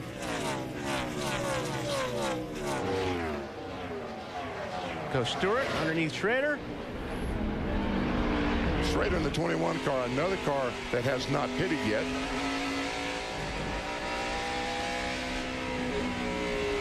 He's got the track position right now, but he's got a lot of cars behind him that are on better tires that will pass him very quickly. Marty Moore and Schrader. Yeah, fellas, they actually did stop at lap six, took on four tires and fuel at that point. But what it does, BP, now they don't have to stop till lap 42, so Schrader can hang it out there in the top five for a little while longer if he like. That is if he can keep that seven car behind him. Nope. That won't, that's not going to happen. Now restarts throughout the day are big here at Watkins Glen. Big at every track, especially here though. And NASCAR warned a couple of drivers last time to make sure you pull up, you tighten up the field on the restart. Among those drivers, Tony Stewart and Dale Earnhardt Jr. They want the field tightly bunched when they come to get the green flag on the restart. Good move by Jeff Gordon. Take that spot away. On board again with Schrader. Up through the S's. Casey Mears took a spot from Schrader. Hey, Mears has been running pretty good today so far.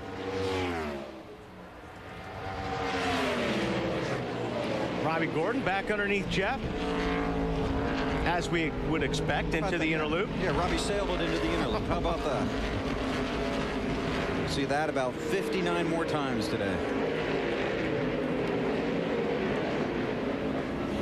Mears closing in on the back bumper of Jeff Gordon. Marty got some more on Mears. Yeah, one time he finished fourth here, Bill, and they're having an awfully good run today. The car is excellent. Casey, not saying a whole lot on the radio, probably because he's a little busy inside the race car, but he said before they made that first stop on lap 19, he didn't want any changes to the chassis, and then slowly worked their way through the field with an excellent race car, trying to keep it up there in the top five right now.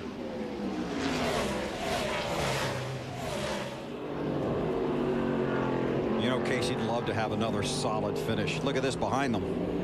Yeah, these guys are all just trying to make their way around Kenny Schrader. And I mean, Kenny, although he stopped on lap six, his tires are shot compared to all the rest of these guys who have fresh tires on them. So he's just hanging on right now. And if he had stopped with Kyle Petty, he's still got to make another stop. Although he's going to have to make two more stops anyway. He's got a traffic jam behind him. Comes Earnhardt on the outside.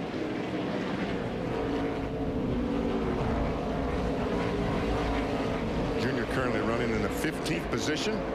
Make that 14th now as he gets by Schrader. Oh, we got trouble in the interloop. And the caution comes out. Marc Goossens in the 90 car. Has And Boris. And Boris around again.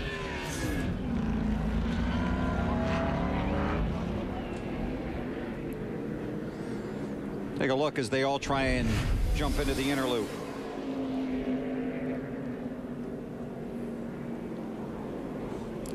That contact must have started back on the way, way back there, yeah.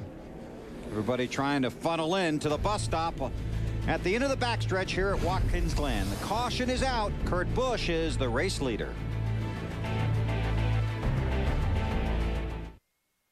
Working caution here, clean up in the inner loop at Watkins Glen.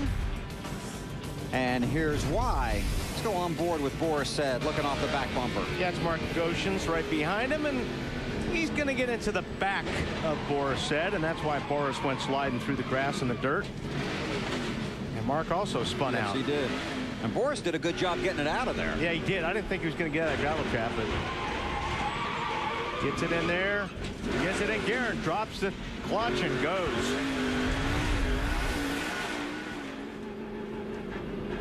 There's Boris. A lot of excitement here yesterday, setting the stage for today. Here's what it looked like yesterday at Watkins Glen for the NASCAR Busch Series race. Robby trying the crossover. Holy mackerel, did Gordon drive that thing in? He's going to cross over one more time. That's an unbelievable move. I'll tell you what, that was strong, and he's on the inside, and they are banging doors. Here he comes. Whoa! Oh, to the inside. Wow! Contact. They're through the grass. And Kurt Busch comes out. Unbelievable. you got him. Nice job. Toward the start finish line, checkered flag in the air. It doesn't get too much better than that. Kurt Busch wins a wild one at the Glen. And here are the unofficial championship standings for the NASCAR Busch Series. Kevin Harvick. He is just making uglier and uglier every week. Carl Edwards in second, the top five in the NASCAR Busch Series standings. Under caution here at Watkins Glen, we expect to see more of that kind of excitement as the laps go by here today. Good look at all the fans in the infield, camping out for the weekend here at Watkins Glen, seeing a lot of racing. Race here Friday night, Busch race yesterday, and the Cup race today. Field coming to get the green flag. Now take a look at the carousel on this uh, close-up shot here. Yeah, see, there's all this stuff right out here. That's all really loose rubber. And uh, when you get out of the line with your left front and you get in that stuff, it is very slippery. It's like it just all marbles and looks like the track is coming apart, but it's actually just that fine rubber off the tires. It got Jeff Gordon's attention. Listen in. NASCAR, what they're going to do about the racetrack falling apart in the carousel? Thinking it's just rubber laid down on the pavement? Is that what they're thinking? Maybe, I mean, it could be that, but I mean, I just know when you hit it, it's like ice, and I hear pieces up in the fender wells. Yeah, all I know is they sent someone out to look at it, and they said that uh, they didn't see anything that was going to be a problem. So I would assume that's what it is, you know. And you heard the conversation between Jeff Gordon and crew chief Steve Letarte. Similar conversation between Tony Eury Jr. and Dale Jr. He felt the same thing. It was indeed rubber. Green flag's out, guys. Terry Labonte was the lucky dog. He is 11 laps down. Kyle Busch has returned to the race. He has scored six laps down. Scott Pruett going three wide. Tries to get on the inside of Hamlin and does. Pruett Scott driving a 40 car. Right.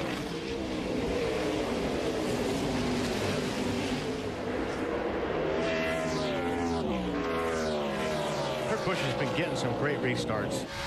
And he was yesterday, Yeah, too. did a I mean, real good that's job, yes. real important to do that, and they, they know that because if they don't, somebody's going to have to try, or somebody's going to try to pass him going down into one. So Denny Hamlin's going to return the favor. Got him. Sure did. Got a couple there, didn't he? Did he get around Boyer as well? Well, let's see. Nope.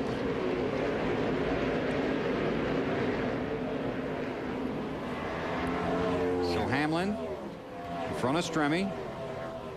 Or in front of uh, Pruett in Stremme's car. Stewart chasing Kurt Busch.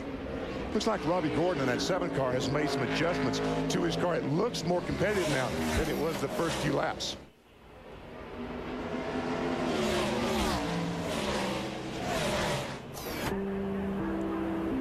Allen, what do you know about Robby?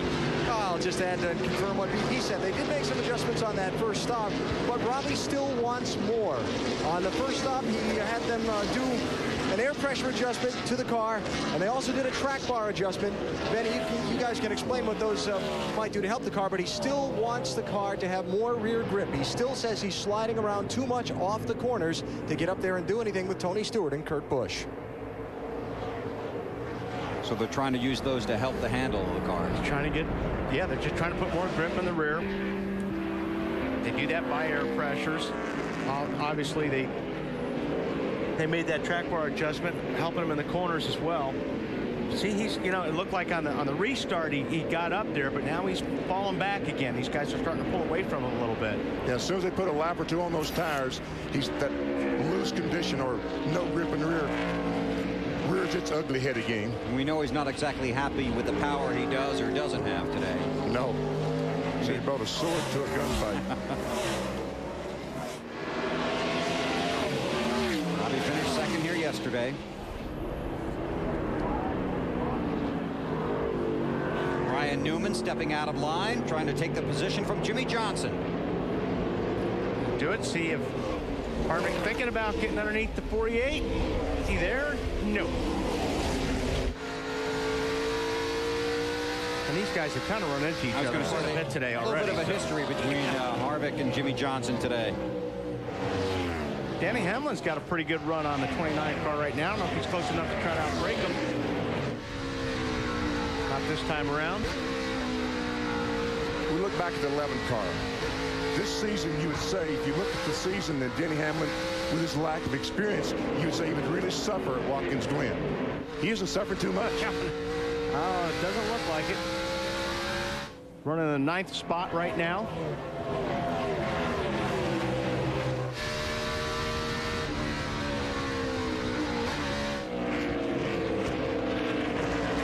Marty, what do you know about Denny?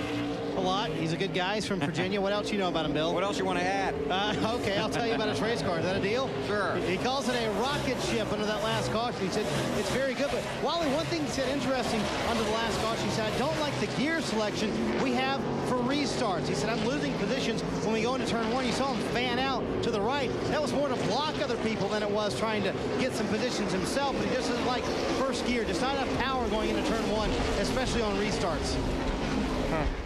Well, That's he's stuck something to write it. down in the book for next year, right? Exactly, because he's stuck with it for the rest of the race. some, you there are, some guys take turn one in second gear. It just depends on how, how you do have the cars geared and what you like. Some guys use that real tall first gear to try to get through turn. Whoa, Jeff Burton sideways. These guys are really dropping wheels through the inner loop. Pat Tryson, the crew chief of Mark Martin, told me for the first time in a long time, Mark Martin is not going to first gear here. In turn one. He's been going to first. This time, uh-oh. Car off. That would be Bill Elliott. That's what I thought, Bill Elliott. Got to wait for the dust to clear. That's right. I don't think he's driving out of there. It's pretty deep. That looks like it's about up to the axles. Go on board with Michael Waltrip in the Napa ride and watch. Well, we saw Dave Blaney make contact and both offers spun, The Bill ends up in the kitty litter. Kyle Busch will be the lucky dog. Bill Elliott needs a tow at the Glen. Still working caution here at Watkins Glen with 39 laps complete and Kurt Busch the race leader on board with Jeff Burton. Time for our Cingular race talk question. Will someone besides Jeff Gordon, Robby Gordon, Tony Stewart, Mark Martin, or Kyle Petty win today? Those are the five previous winners here at the Glen and the starting field. To vote, text the word race to 191 on your Cingular wireless phone and you'll have a chance to win a first class trip to Wally's. I mean to Miami. Nobody coming in, everybody staying out under caution here at the Glen. We'll sneak in another break. Working the caution here at the AMD at the Glen on NBC.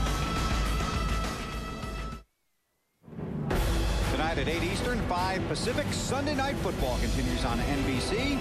John Madden and Al Michaels bring you all the action in Cincinnati as the Redskins face the Bengals. 8 Eastern tonight, Sunday Night Football on NBC. Coach Gibbs looking for the win tonight, looking for a win this afternoon. Tony Stewart trying to repeat as winner here at the Glen. Currently running second behind Kurt Busch. Another one is car, Denny Hamlin running in the ninth position. And J.J. Yeley is back in 21st in the third Joe Gibbs entry. And Hamlin's looked pretty good. He's looked terrific. We'll see on this restart if Stewart and Gordon stay a little bit closer to Kurt Busch when they threw the green. You love the restarts. I do love Ready. the restarts. Green, green.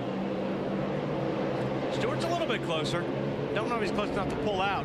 Oh, Robby Gordon knows how to block. Doesn't he go down in there?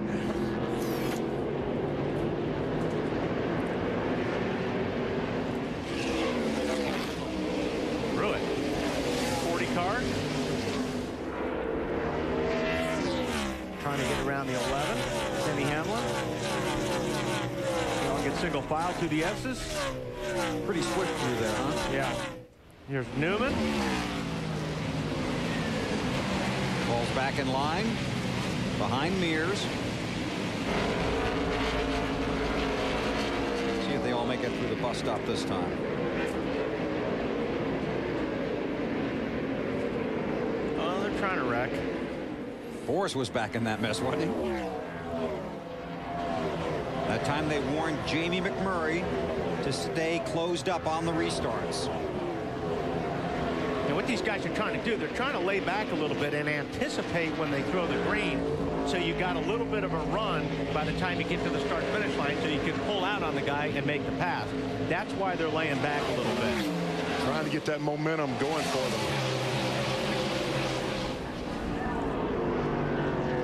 There's Denny Hamlin. FedEx Chevy. Takes a spot away from Harvick. This is Hamlin's first Nextel Cup race at Watkins Glen. Had a good run at Sonoma and ran here yesterday in the Busch race. And won the NASCAR Busch Series race in Mexico City back in the spring. Which I thought was his first road course race ever. He's a quick learner, I think, this boy. Talk to the guys around that team. They believe he is. A lot of these guys, especially the rookies, some of the veterans also go through the Bob Bondurant driving school. Uh -huh. And they pick up a lot of a lot of tips that help these guys understand how you brake, how you downshift, where you're supposed to be. You know, entering the corner, exiting the corners. And some are quick learners. Uh-oh, Greg Biffle. Boy, it has been a tough weekend for him. That's a backup car after a practice crasher.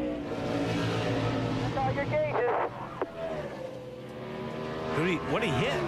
Or who'd he hit? It sure looks like another car, doesn't it? Now, water, let's get it to the garage. Let's get a radiator in this thing. We got to go. Greg Biffle is 13th in the championship standings right now, desperately trying to make the chase for the next Cup. Newman takes a spot away from Casey Mears. That'd be fifth spot. Casey Mears has caution flag is out. These Penske cars look really good today. Caution's out. Matt, what do you know? Bill, under further review, the 16 is now going to take the car back to the garage. At first, they were going to do that, and then he said he didn't think he was having any issues with the radiator, and then when they pulled it in, they could see the damage, the water leaking. He is back to the garage, and you heard him say in our countdown to green, today was an important race. He had changed his target because of where he sat in the points and where he was sitting on the grid. Tough break for the Biff. We'll pick it up. The caution is for debris. Pick up the replay just a little bit late. Well, he gets the inside guardrail. Someone ran the back of him and turned him into the inside guardrail. Yeah, you can see the damage on the left rear. Watch. Yeah, somebody could get in his left rear. That's on board with Kyle Petty. Looks to me, Benny, like a lot of these guys are, I, I, don't know what their deal is on the brakes, but it looks like they go to hit the brakes and they're either going in way too deep and the car's not slowing down or they just have some brake issues. Kyle Busch, once again, is the lucky dog. Kurt Busch is the race leader. We're under caution at Watkins Glen with 46 to go. NASCAR Nextel Cup Racing from Watkins Glen is brought to you by Team Chevy and the 2006 Monte Carlo SS, now with a legendary small block V8 and American Revolution. By UPS, proud sponsor of Dale Jarrett's 88 Ford. Go, Dale, go. By the Home Depot, NASCAR's home improvement warehouse. And by McDonald's. BP? It's time. Can you do it? Folks in the truck, please cue the duck. Time for our Aflac trivia question. Who was the first driver to win three straight races at Watkins Glen? Ricky Rudd or Rusty Wallace? I think Mark Martin. Mark Martin? Okay. Ah, you were correct. But it was almost only two in a row, wasn't it, Wally? Uh, it was almost two. Some of us believe it was still two. Bill Davis and I, anyway. Our Aflac trivia question. Still working caution here at Watkins Glen. Cleanup continues. Halfway. Kasey Kahne on pit road. Allen, got some work down there, huh? Yeah, we got a little strategizing going on here, Bill. This is uh, Kenny Francis, the team director for Kasey Kahne and Ray Evernham's team, in. They're going to change tires here, make their chassis adjustments, fill the car with fuel. Then as soon as their pit window opens after the restart, they're going to come in, top the car off with fuel under the green and go, and then stay out the rest of the race. They have to do something. They've fallen back to 17th in line. This one of the bubble teams for making the championship. They're trying to find a way to steal some positions at the finish of this thing. And Allen, as you know, they could certainly use a break. In the last six races, he is ranked 27 in performance among the drivers in the NASCAR Nextel Cup Series. Had a crushing finish to his race at Indianapolis one week ago. And you can see after the fantastic last road course race, everybody was thinking, hey, Kasey might contend for the championship. Next road course race, they're thinking, is even going to make the chase? Right now, Kasey Kahne 11th in the championship standings, 45 points out of 10th. But that was a great, great move by Kenny Francis. Matt? Well, BP, not a good day like we touched on earlier for Greg Biffle. Now, they pulled the car back in the garage, and Biffle very calm on the radio in discussion with crew chief Doug Richert just about how severe the damage is to the front of the car, whether they got the radiator or they got some other chassis components right now. They're just trying to cut away the broken bits and pieces and try to get this car back out and earn whatever they can. But a tough blow for their championship's hope. This is a team that finished second last year in the championship chase, had huge hopes this year, hoping to improve on that and score another championship for Jack Roush. But he started today 12th in points. It's going to be another hit. Six wins last season, had a backup car in today's race after the crash earlier in the weekend. 24th at Pocono. That knocked him out of the top 10. 33rd last week at Indianapolis. And certainly not what he needed today. Greg Biffle currently scored 41st here at the Glen. And Kyle Busch has made up two laps in the last five or so laps. He's been the lucky dog recipient twice. And really, because they'll still be working on Biffle's car, he'll be the only guy talking about the last six races from uh, from Sonoma to Indianapolis, the number one rated driver over the last six races, Kyle Busch. Scored more points, has the win, four top tens. And now trying to make up some ground here at the Glen, currently 42nd. And that has dropped him back to ninth in the championship standings. You can see the lights are out on the pace vehicle. Guys are warming up their tires.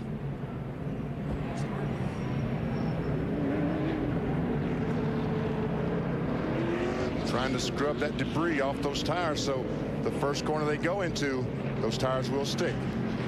Listen to this conversation just a few moments ago from the two team on restarts. Hey, if we pit under green like we did earlier, we can uh, do something to trick that 20 where we get him on your outside through there and we can leave him out so we can get some separation. We about had him earlier, but uh, but he dove in there. Yeah, he's, he's a smart fella. Yeah, Tim Flory, yeah, he caught right onto that deal. He dove right in. Now, that wasn't about restarts. That was about trying to let fool him when you're coming on pit road. Everybody looks pretty tight. Here we go, Wally. These guys in the back are doing it. Casey Mears, he's underneath. Ryan Newman. Looks like he's going to take that spot away. So Mears now behind Gordon. Jeff Burton. But trust me, these restarts will get a little bit more aggressive Oh, yes. the further we get into the race. And like you said, we're just two halfway. Yep. Watch Ryan Newman. He wants it back, doesn't he? Yes, he does. He's going to try to outbrake that 42 car. Oh, that's close.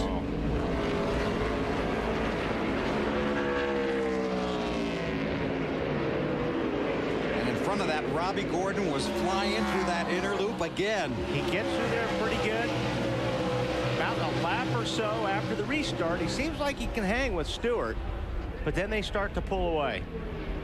There's Robby running third behind Stewart and Kurt Busch. See if, he, see if he can hang on to him a little bit here for a couple laps.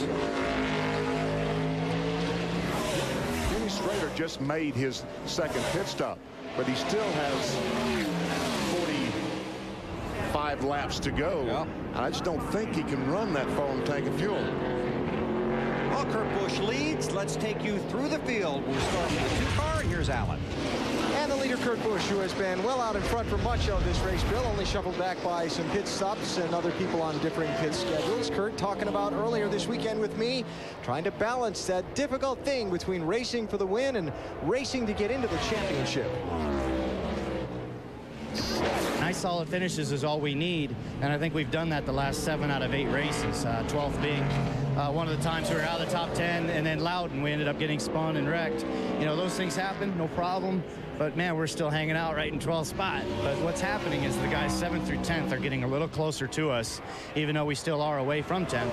Those guys, if they have a problem, now there's not just one guy, there's four guys that are right there on the cusp. Kurt using Matt Kenseth's charge into the chase last year as some inspiration. Feels like they've got some good, good cars for these next several races coming up. Tony Stewart feels Kurt Busch's car here at Watkins Glen today is good, good, good. Tony and his crew chief Greg Zipadelli talking under the last couple of cautions. Tony evaluating how to make his car better on the one final remaining pit stop coming up so he can maybe overtake that two for the win. Robby Gordon doing much the same thing. And his crew chief Greg Irwin talking recently about making adjustments on the final pit stop.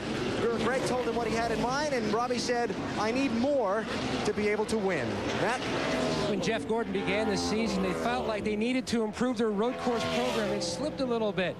Gordon, nine times a winner on the road courses. He won back at the Infineon Raceway. Right now, he runs fourth. This is the car is about 10% better, but it's horrible on the right-handers. They need to really work on that on the next stop, Marty. Matt, for Casey Mears in the fifth position, he said he has one problem on the racetrack. It's turn five, the long sweeping right-hander. He said through there, it feels like the car just has no front grips. He turned off the rear fans for the car because the rear tires were just chattering too much. Right there is where Casey has that tight condition, Matt. Ryan Newman would love to get up there and battle with his teammate Kurt Busch in the two and try to solidify an all Penske weekend here at Watkins Glen. He says the car is much better through the S's. It's a little bit tight down in turn two, but he can deal with it, Marty. Matt, so far Sunday going much better for uh, Denny Hamlin than Saturday did. In practice yesterday, the first practice, they lost the transmission. In the second practice, he had a little off-course excursion. Today, everything on the blacktop, and so far, the 11 car very, very fast, Allen. Let's talk Jimmie Johnson, the championship leader who's running in the eighth position right now. He started up in fifth. Jimmie coming into this weekend thought that he needed to improve as a driver on a road course. He said it's kind of hard to understand how I can be outdriven by a couple of these guys, but I'm working hard to be better than them, or at least as good as they are here on a road course. Marty? Allen, in this exact part of the race course, David Stremme is the man spotting for his normal ride. The 40 car today driven by Scott Pruett. He's clearing him left, clearing him right. So far, Scott says the car at the beginning of the run just plows. No front grip at all. The car extremely tight, but the longer they go, the better that race car gets. Behind him, Kevin Harvick, the man tied for fourth in the championship standings. His car is tight both in right and left-handers. Bigger concern maybe is the water temperature. Right now, 235 for the 29 car. They're going to pull off a piece of tape on their next stop. Dave? Brian Vickers pitted under green at lap 22. Car's still a little bit tight now, a little bit loose off the corners, but he restarted 13th. He's passed two cars since that time. The 07 of Clinton Bowyer, they pitted under green under lap 20. The car was loose. It said it needed some grip, uh, but they've been able to work through their problems today. Actually, was running hot earlier from contact on lap one. That condition has been corrected. Marty? Into the last caution, Jeff Burton came on the radio and said, man, we are chattering the front tires on this thing. And he also has a brake issue he's a little concerned about. Said he doesn't want to go full pedal with the brakes because when he does go full pedal, so that makes that car chatter even worse and the rear wheel rear wheels hop. Allen? 10 positions gained in the race so far for Jamie McMurray in the Roush 26. He started in 24th position. You see he's running in 14th.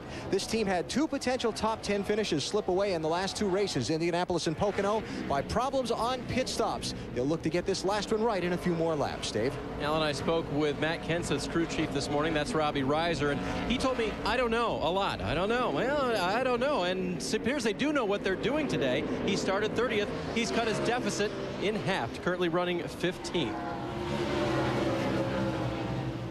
One car of Martin Truex Jr. is uh, running uh, right behind him, having a pretty good day. This is the same road course car they took to Sonoma. Martin's been keeping it on the black all day long. And driver eight, Dave, Dale Earnhardt Jr., his best finish here in Nextel Cup, a third in 2003, but he has a Busch win. Now, Jr. says the car has been going back and forth balance-wise. It's tight everywhere on new tires, but the car is loose, especially in that whatever turn that final turn is closest to you guys out on pit road. it's not good there. That'd be seven, man. Seven. Matt fades away. Those are the top 17. Ron Fellows 18th, and Joe Nemechek is running 19th. There are currently 40 cars scored on the lead lap here at the Glen, and the race leader continues to be Kurt Busch. Came in 174 points out of 10th, but a year ago, Matt Kenseth was 168 behind 10th at this point, and Matt made the chase for the championship.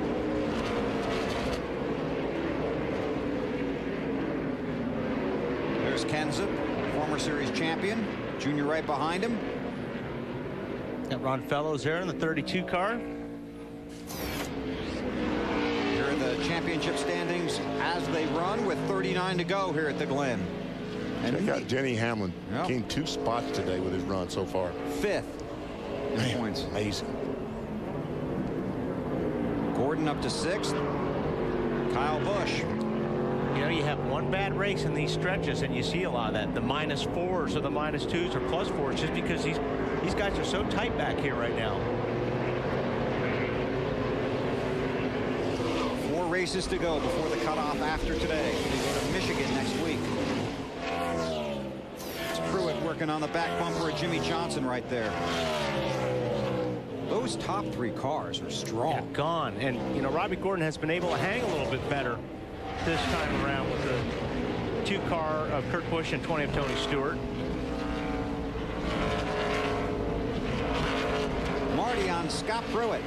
Yeah, Scott says the car, this is really the part of the run where the car gets very good for Scott. He told me that objective today is a little different. Normally he comes here in a one-off car, but he's racing for a team that's trying to stay in the top 35 in championship standings. So he said, our goal, be conservative today. Just get home with a top 15 finish. We can get a top 10 out of it, great. But he's got an awfully good car, especially at the end of these runs. And Marty, Scott Pruett told us earlier in the weekend, this road course racing is fun to do, but hard to learn it's a real different animal to deal with. Now, if you look at a lot of these guys are very talented. I mean, Tony Stewart, Jeff Gordon. I mean, those guys are road racers. I mean, they have road racing in their background. But if you're looking at you know pure guys like a uh, like Stremme, for instance, perfect example. You know, he hasn't had any road course experience, and getting a feel for the whole thing is you know it's I wouldn't say it's daunting, but it just takes time. It's like anything, it's like taking a road racer and putting him on on uh, Darlington. You know, you want to overdrive the car and, and, get sideways and and overdrive the racetrack continually. Where the guys who know the place and do it week in and week out, it's a piece of cake. Yeah, piece of cake. Strategy starting to play out. The race is underway on pit road, Marty. Well, Bill, here we go. These could be the final stops of the day. Jeff Burton's car actually spitting out a little bit of water. He said his car was a little too tight and really no overall grip, so they go down all the way around on air pressure. His teammate Kevin Harvick pitting further down pit road. He too tight, also an air pressure adjustment for Kevin Harvick. Probably the final stops of the day for these RCR cars. Oh, Joe Nemechek into the tire barrier. What a fabulous strategy for these guys. Yeah. They make a pit stop, and now they get to make up the entire distance they spent on pit road. Yep. That's oh, what we man. talked about, about, you know, there's all these different strategies, but you've got to be lucky. And these guys that just came down pit lane are lucky. Kurt Busch is on pit lane. Did he get on pit road, pit lane quickly enough? I don't know. That's going to be real close. Heading all the way down toward pit exit. Allen, well, that'll be the whole debate, won't it? If he didn't get on pit road before it was closed, then it's going to be a problem. But if he did, it's a great call. Roy McCauley saw that car spin on the big Jumbotron monitor right across from his pit box and immediately jumped on the radio, called for Kurt to come to pit road. It's a four-tire change for this two car. Now we'll just see if they are clear of the uh, rules or if they ran a foul. No, looks like looks like they ran a foul. Uh that hurts. This happened to Jeff Gordon oh, here. Oh, hit it again, Chris. Hit it again. We got time. In this race a year ago. Hit it again as with the fuel can. It wasn't the NASCAR official that was holding him. They were holding themselves to get debris off the grill or something, wasn't it? Alan? Benny, Benny, what they were looking at, the uh, the light that signals uh, the, the stop and go paddle at the end of pit road was red because the field hadn't cleared yet and the caution was out. When, when cars pit under the caution flag, they're held at the end of pit road until the last of the field clears, and then they rejoin at the tail end. So that red light was on at the end of pit road to allow the, the tail of the field to clear and make sure that Kurt and the other cars on pit road rejoined at the tail. Now you see Roy McCauley in the discussion with the NASCAR officials trying to get clarification on where they stand as far as coming on to pit road. Gotcha. Yeah, what does the tie go to? Yeah, the runner. This is identical to what happened to Gordon a year ago. Kyle Busch is the lucky dog. Let's work that in. Looking on the right side. And the light, the official is there. Oh, the red light is on. Wait a minute, wait a minute. That Whoa, is, how close you're, is you're that? You're committed there. I mean, you back it up. You're cool, Bob. I Watch mean, the front of the car right there. Okay, that's, I don't think he's at the line yet. You see the light right there. Oh, man. That is so. Pity too soon is the official call, I'm told.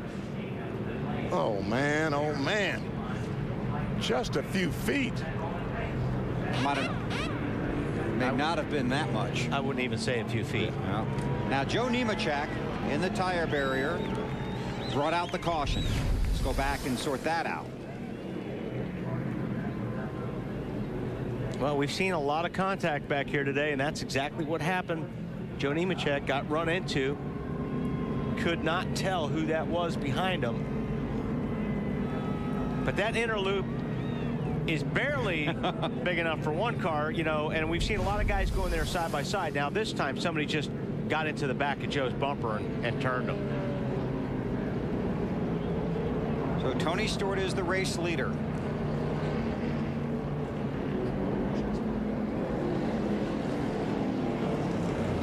So Tony Stewart, Robby Gordon, all these guys, and they can make their pit stop under the yellow. But what's going to happen is they've got to restart behind all the fellas that stopped earlier. Matt? And Matt Borland reminded Ryan Newman exactly where he was pitting. He says, you don't have to remind me. I remember the last time. Small air pressure adjustment. Newman's car, really good, he says. Dale Earnhardt Jr. right behind him. His car needed some big time help, Marty. Back Casey Mears in that 42 car, bottom of your screen, hits pit road, running fourth, so they couldn't pit earlier because they were worried about a green-white checkered like we had yesterday in the Busch Series race. No changes to the chassis, Allen. And a four tire change for Tony Stewart. And some chassis adjustments you see there being made with the, the wrench in the left rear of the car. He's got to swing around Kasey Kahne to get off pit road. Get out ahead of him. A lot of traffic. Something, something you don't really see that often on a road course. A lot of congestion, but everybody takes it easy exiting, gets clean. Let's take a look at the race off of pit road. Kurt Busch will have to restart at the tail end of the longest line for pitting too soon. Carl Edwards. Newman. Pete Stewart off the pit lane. And we see Mark Martin in the six car up there. So evidently the 99 and 6 uh, pulling some strategy. How about those pit crew guys, BP? Oh, man. Brian Chase, the jackman on Dale Earnhardt Jr.'s car. Left side, he follows Tony Eury Jr. around, gets that left side jacked up, watches the left to right, left, right, it's all done. Go. Back to green flag racing. Reed Sorenson is scored as the race leader. Kurt Busch claimed he was having radio trouble. Restarted second. NASCAR started to pull out the black flag. Busch pulled over in turn one to let the field go by. He had to restart at the tail end of the longest line for pitting too soon. They're going to give it to us. Go. That's his crew chief, Roy McCauley, saying you're okay. Allen, what do you got? Uh, a little bit of confusion here as to what it is they're telling him. I think Roy's confused. What NASCAR is telling him is that he's not going to be black flagged because he was dropping to the end of the field and giving up that spot. Roy was trying to talk to Kurt from pit road right in front of the NASCAR officials, and there was nothing coming over the two teams' radio. So they were having trouble, and that's what got them right up against that restart without Kurt getting the message to go to the back of the field. And that's because they lobbied very hard against the penalty, Allen. One? Oh, absolutely. They lobbied hard against it. They, they were right up against that line. And at that point, you know, how much choice did he have but to come down pit road? Could he really turn back out onto the racetrack right then? No, without a doubt he could not. I want to show you one other angle of Kurt Busch coming We're to pit right, road. and they're wrong, but I can't, I can't do anything about it. Here he comes off of turn seven, headed for pit road. Your mission, get there as quick as you can. Okay, watch, watch, watch to this left, left. You'll see the lights right coming to the corner right there. See the lights? They're red already. And that's that's the biggest thing right there that you can't come down pit lane if those lights are red. Or the, and, and the problem is it's so close. I mean, like you say, once you're there, you're already committed. But unfortunately, NASCAR was right on that one, and that hurts. That hurts having to go to the back. And, but there's no way in the world that Kurt could have No. gone back on the racetrack. That's what I'm saying once you're already committed, so that they need to change that around for next time. But Kevin Harvick on and off of pit road. Has taken the lead caution. from Reed Sorenson. Saw him there go around Reed Sorenson, but Marty was working on a story down there on Harvick and fuel. Marty, you down there? Hey guys, when uh, the 29 car left pit road, the vent tube, which holds the fuel in the fuel cell where they put the fuel in, when the fuel filler neck was open, and it popped back into place as they left pit road. The concern, though, is they lost about half a gallon of fuel in the 29 car. And when you're racing to the end on fuel mileage, you need every ounce you can get. So they, they think they have enough, but the green-white checker, now that may be a question. Wait a minute, Marty. I thought I saw some fuel coming out of that car in the But, and it may, may not be shut. It may not be shut. They asked us to get a shot of it, but it looked shut when we showed a shot of it during commercials. So they thought they had it fixed, but it may not be the case. Looks. Oh. Looks like Mark. Yep. Goossens again. Guy Mark. Yeah, I'm flying. What's the wheel coming up the S's here? Full course yellow.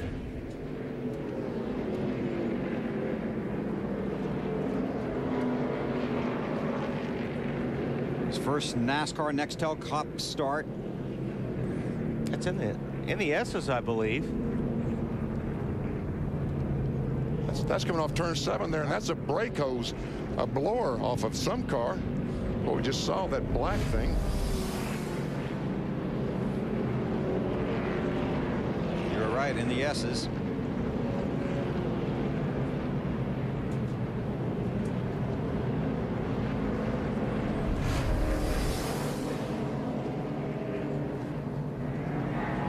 Under caution again, Greg Biffle returns to the track.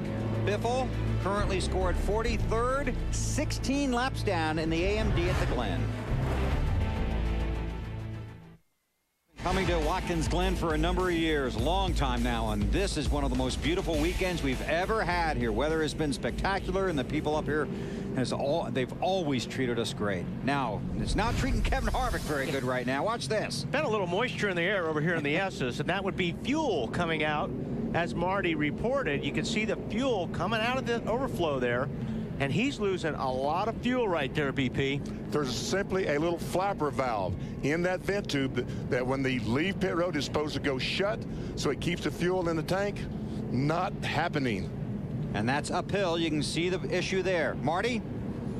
See how concerned the 29 team is. How worried are you about losing that fuel, Todd? Well, um, if we had, a, if we could calculate how much we lost, uh, Can you get out there and catch all that? yeah, yeah, or could plug it off. Um, honestly, we're uh, uh, three gallons to the good, so it's going to how much we lose as to how, you know, uh, how much we're going to have to have. But obviously, we keep having these cautions every three laps like we have for the whole race, then we're going to be really to the good. But you know, it's just a gamble on how much we've lost at this point. Is there really anything Kevin can do to, to make that not happen? Nothing he can do, is there? Nothing. I mean, as it burns off, you know, it's going to go away. On the restart, we reminded him, and I mean, obviously, just not to jerking around, swerving around as much as he can under caution, but racing is racing. He's got to go as hard as he can go. So, obviously, it's just uh, cross our fingers and hope from this point on. They've played the race perfectly thus far. Now they just have to hope for some more caution laps. Thanks, Marty. We'll be watching that on the restart as well. Take a look at our Craftsman pit summary. This is going to be a mess. Yeah. Tony Stewart comes out 14th. Gordon 17th. Newman 13th. And Kyle Busch about 38. And other guys use different pit strategy. Mark Martin is scored 17th, didn't take tires. And some other guys use different strategy to try and make up ground as well. The 99 car, I believe, Carl Edwards might have just fuel only.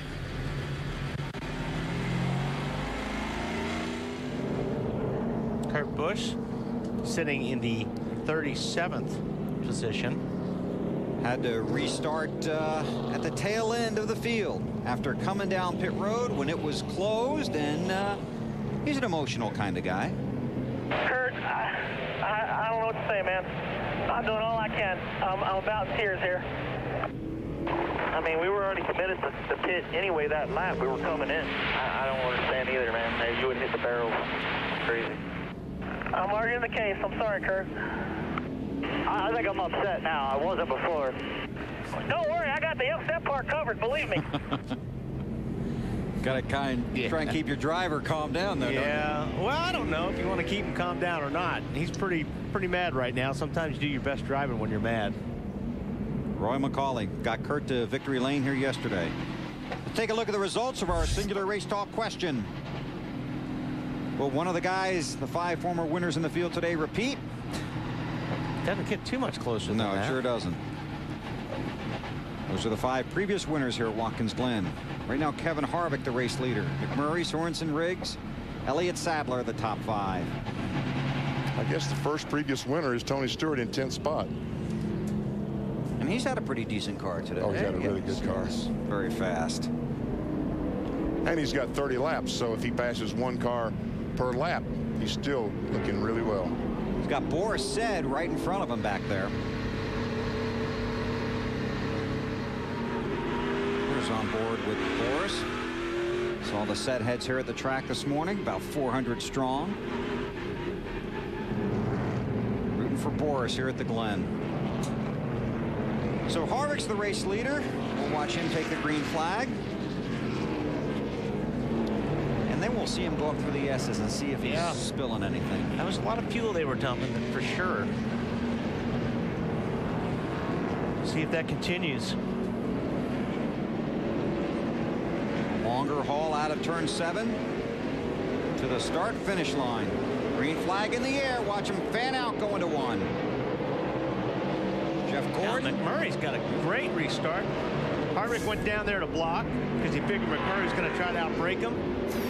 Oh, they're two, three wide back there. Yo. Rader and Riggs. Holy mackerel, four wide. This may not work. Robby Gordon makes it work for him. See the fuel again spilling out of Harvick. Just dumping out that 29 car.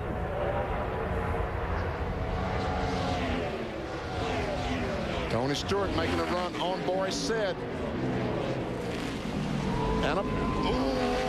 36 car almost had the lead in the inner loop.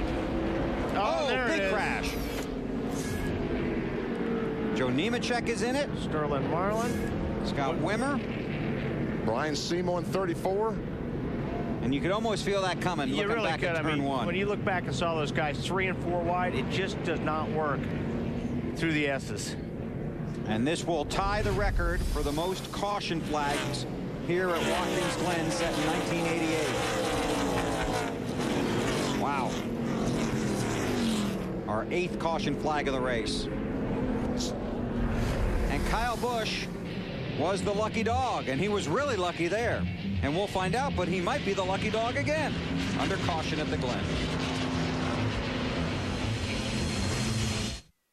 NASCAR Nextel Cup Series racing from Watkins Glen is brought to you by Nextel, only from Sprint. Get closer to the NASCAR Nextel Cup Series with Nextel. By Burger King, who remind you to have it your way. By Best Buy, thousands of possibilities. Get yours. And by Allstate, the official insurance sponsor of NASCAR. Under our eighth caution period of the day here at Watkins Glen, and this is a biggie. You can see a couple of cars still sitting there. And look at those names. They include Kurt Busch and Matt Kenseth. Kenseth currently second in the championship standings. Busch 14th trying to race his way into the chase. Now let's look at this again a couple of times. Here's the one angle we saw earlier. And the 22 car is the first one we're basically going to see out of control. And the 17 is in him, and the 14 is in the 17, and I'm not sure who was in the 14, but it just looked like it started like five or six cars back. People started jacking each other up. And now watch, you'll see Kurt Busch come and get a piece of this too. There he is up there, just trying to sneak by. And Kenseth that had a slow pit stop earlier in the race, as Dave Burns was pointing out, and that put him back there. And Busch was back there because he had to start at the tail end of the field because he pitted too soon. More on Busch from Allen. He's been here for quite a while now, Bill, but the luxury of the long, slow caution flag laps here allowed Roy McCauley's team to pull all of the sheet metal away from both of the front tires, straighten out the front grille, check the alignment of the front suspension, and change tires and top off the gasoline. You see Kurt trying to feel it out now as he's back out on the racetrack. Dave? Allen, when the 17 pitted on, lap 54 under caution, they had a long pit stop because they were putting spring rubbers out of the rear of the car to give it more grip. Then they got blocked in their pit stall. They came in 15th. They went out 35th. That's what put them back there. And then this mess. Now, Matt has reported that the radiator should be fine. The temperatures were good. They just had some uh, damage. They had to pull away from every corner of that car so the tires would not deflate. Well, the two car might have luxury of long yellow here, but it's not going to matter. That car is done for the day as far as being competitive. Without that right front fender, um, there's a lot of stuff missing up there. He doesn't have the same race car he had before the wreck. Kurt started from the pole yesterday and won, and started from the pole today. But as Wally said, things don't look too good right now. He's headed back to his pit stall.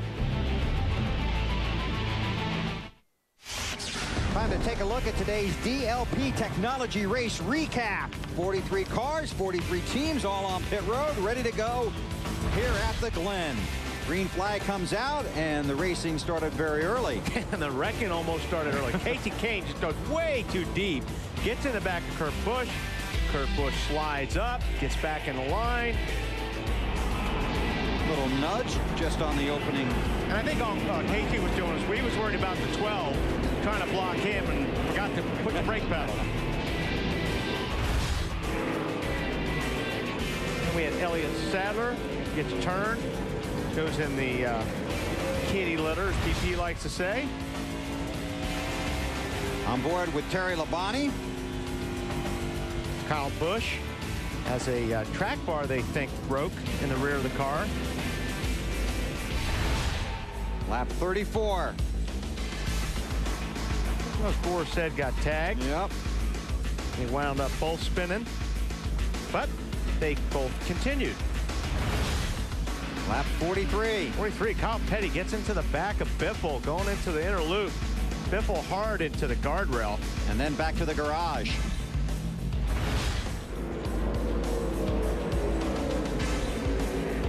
Joe Nemechek got spun out of the inner loop. Two car goes to pit lane. Only yeah. the Go ahead. The pits were closed. You can see the light is on. Now, if Kurt Busch had gone straight through the pits and had not stopped and blended back in, there would not have been a penalty. He had to restart at the tail end of the field, and he and Matt Kenseth both got a piece of this. But I don't think he, I don't think they knew they broke any laws when they came in and pitted. They didn't get the confirmation until the, the car was gone out of the pits. Mm -hmm. But you have to put yourself in a position to know that uh, driver's going to put him in a position to or say it was green when you're coming in. or a spotter, no or a spotter to watch. The exact same thing as we've talked about happened to Gordon last year. Yeah. Almost, you know, in the exact same location. Problem is, like you say, Bill, it, it whatever the reason, right. I mean, it, it puts you back in traffic, and on these restarts, it could take you out of mm -hmm. contention, and it did. It just took Kurt Busch out of contention to win this race and he had a car to win it. Our Napa Field summary, and of course, Kurt trying to get in to the chase, and this will not help his chances at all. Currently 14th in the championship standings. Continue to work cleanup here at Watkins Glen for our eighth caution of the day. 26 to go in the AMD at the Glen. Here are the championship standings as they run here at the Glen with 25 laps to go and four races after today before the cutoff and the chase for the next Nextel Cup championship begins. Tony Stewart picking up a couple of spots. Denny Hamlin's been up and down throughout the day. Kyle Busch in that sixth spot. And Earnhardt Jr. to 10th. Real close, you can see from 10th to 11th right there. Yeah, but that's, and now the guys 12 on back really starting to lose some big ground. With just four races to go, it looks like it's going to be a real struggle for Biffle and Edwards. Okay, now let's watch Kurt Busch coming to pit road. Real speed. You see his crew working on the damage. Here he is before when the caution came out. See him coming in green, green, green, red. He does not have enough time to turn that car to the left and miss the pit lane. But if he keeps going through, there's no penalty. I know, but Bill, he thinks it's green. So unless NASCAR says, hey, you went through a red light before you get to your pit stall, you're going to come in and you're going to pit. That's like the official telling you to pull up right after the quarterback throws and you deliver a late hit. You're on your own at that point. You got to got to make your own decision. More on Matt Kenseth's problems from Dave. They've about got it fixed to the point that it will run around the track and not cut the tires, they think. And this will be a blow to their uh, championship standings. Uh, we saw him just a, uh, in, the points a few moments ago. Talking to Robbie Reiser this morning, he said, I'm in the mood to gamble today, almost like they had one race to give away. Well, they've given it away in another way today, unfortunately. And Matt will tool around for the rest of the day trying to hold his position. By the way, guys, if there's another caution for debris, it, may, it might may, be off the 17, but these guys have done a good job getting him back on the racetrack. That is one ugly car right there right now. Talking to his crew here over the weekend, as you see Kurt Busch leaving as well. They, were, they liked it last year when it rained and they only got five laps of practice. They said they were in a better situation there. Just having some fun with the driver. Allen on Kurt's problems. Yeah, they, you see that uh, right front fender on the two car. Bill, they have tried to rebuild the fender piece to give Kurt some downforce. They were just this last pit stop putting some bracing in behind it. They've also checked to make sure their brake ducts were still getting air to the brakes on the front of the car. Obviously, the design is to give Kurt what they can to charge as hard as he can. Think about all the points that they've lost in this last half hour or so.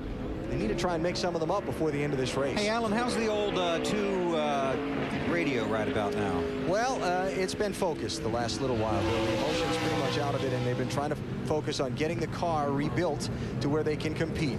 Uh, they've been trying to get the front end back in line. Kurt told them to put another set of tires on. He ran over some debris out on the racetrack. They've really been focused on trying to get the car back together. Now it's in Kurt's hands from here to the finish. All right, we'll be watching. Lights are out on the pace car, ready to go back to green.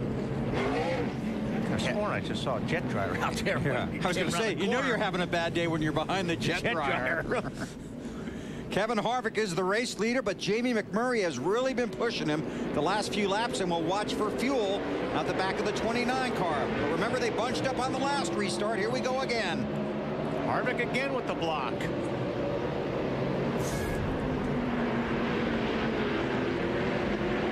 Keep the spot. Watch behind him here. Oh, here we oh, go. There we go. Gordon's Jeff Gordon around. around.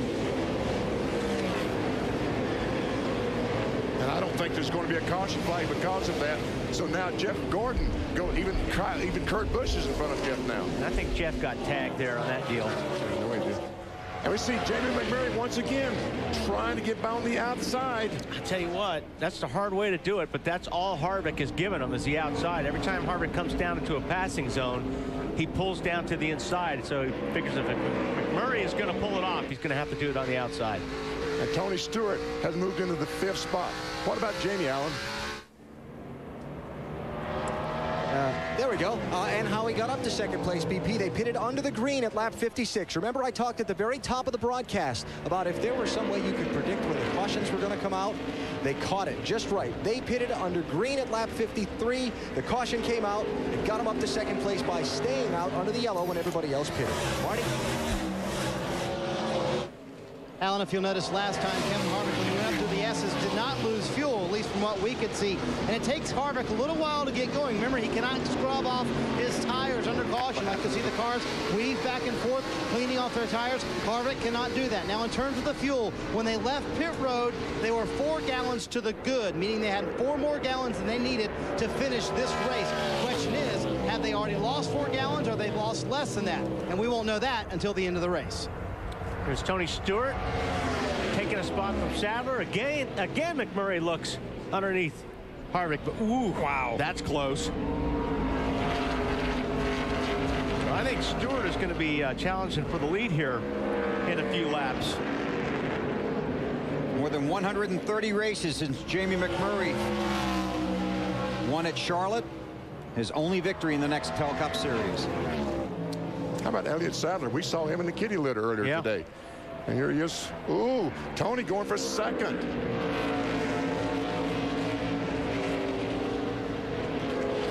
We'll watch this race up front. Get more on Sadler from Marty. Yeah, Bill, it seems like a week ago when Elliott Sadler brought out the very first caution of the day, doesn't it, when he was in the sand trap. Little strategy got them to the front. Lap 45, they pitted for four tires and fuel. Then on lap 52, fuel only. They're done pitting for the day, and they have a car that's running in the top five. Fairly good, even though he found his way to the sand trap, much like you do on, on many occasions, Bill. Thanks, Marty. I appreciate you pointing that out. It looks like McMurray got a little bit offline there. Getting up the S's. So we'll see if Stewart can close in on him and make that pass going in the inner loop. What's happening? Jamie McMurray is watching his mirror now. Yeah. His rearview mirror, watching that 20 car and, and not concentrating on the road enough. Tell you what, though, Jamie is getting into the corners good. He's got a lot of brakes in his car right now. But I think you're right, Benny. I think he's starting to look up, figure out where Stewart is and where he's going to go when they get down in the braking zones. And when you do that, you lose the leader.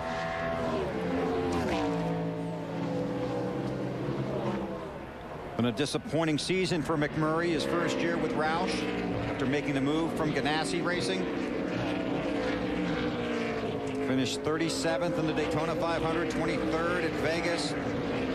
His 35th at Bristol, 37th at Texas. There's Jeff Gordon trying to get some spots back. Did he lose that many spots? Take a look at what happened going down into the corner. On board with Michael Waltrip.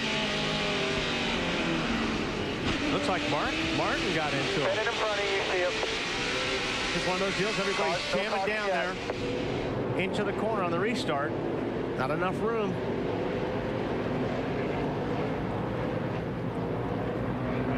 Goes racing by. Tony got around Jamie McMurray into second and now sets its sights on Harvick.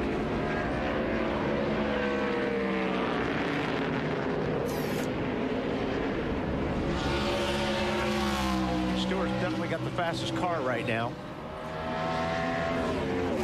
More on Tony Stewart from Allen. Bill, uh, you, you you have some experience monitoring Tony Stewart's pit, right? Oh, yes. What what does Tony say when things are going well? Uh, not much. Nothing at all in this last stretch of the race. Tony said earlier when Greg Zipadelli was asking him about his race car, Tony came back and said, "It's all right." And that was it. So here we go. But he can be very entertaining to listen to. Oh yeah, yes he can. But uh, not today. This has been a very low-key day on the radio for Tony. Very businesslike, especially now that he's trying to get by Kevin Harvick and see if he can get this win. Well, I tell you what, Kevin Harvick has a pretty good race car. Last time by, he was a tenth of a second faster than Tony Stewart. And of course, Stewart going for his third straight win here at Watkins Glen.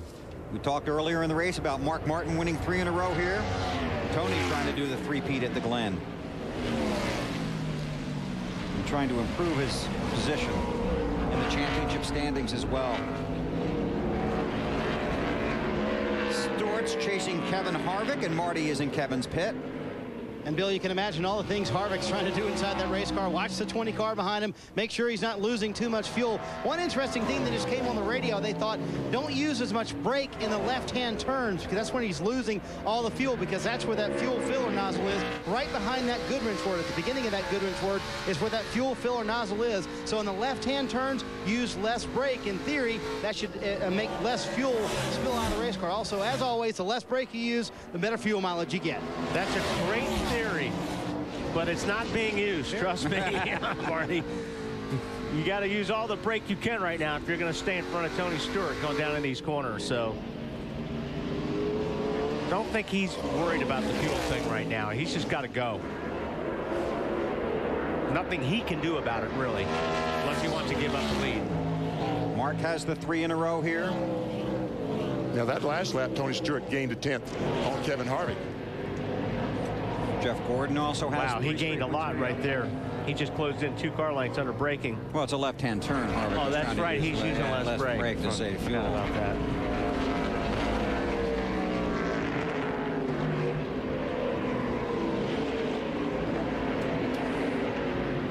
See if we can't find where uh, Kurt Busch might be.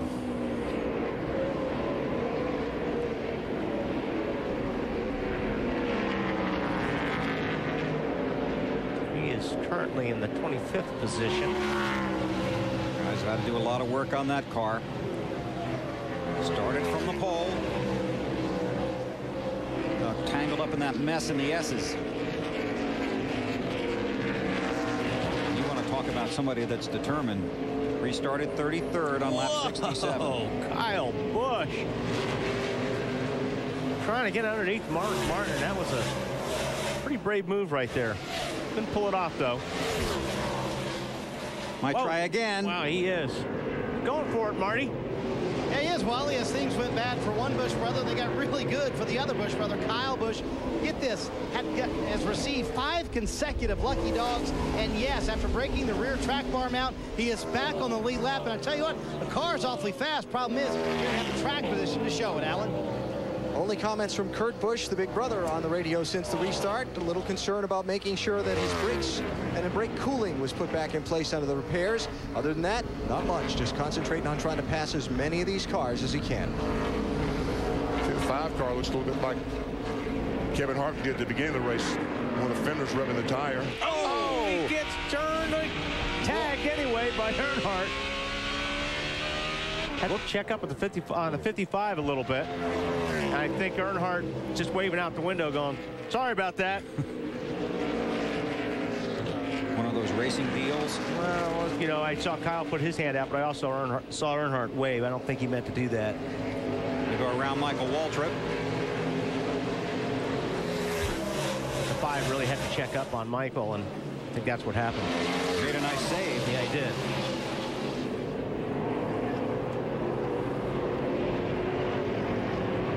Jeff Gordon working on the outside of Bowyer.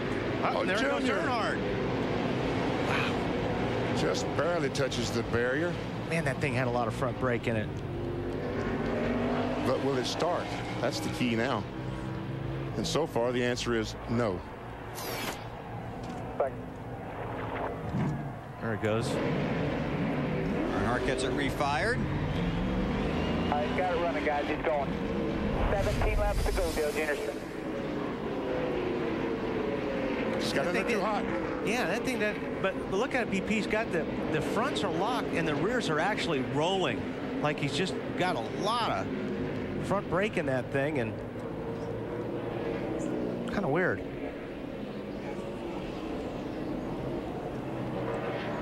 That was strange.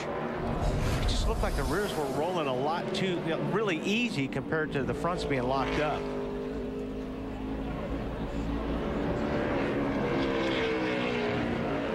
Junior continues. And he's got a lot of ground to make up.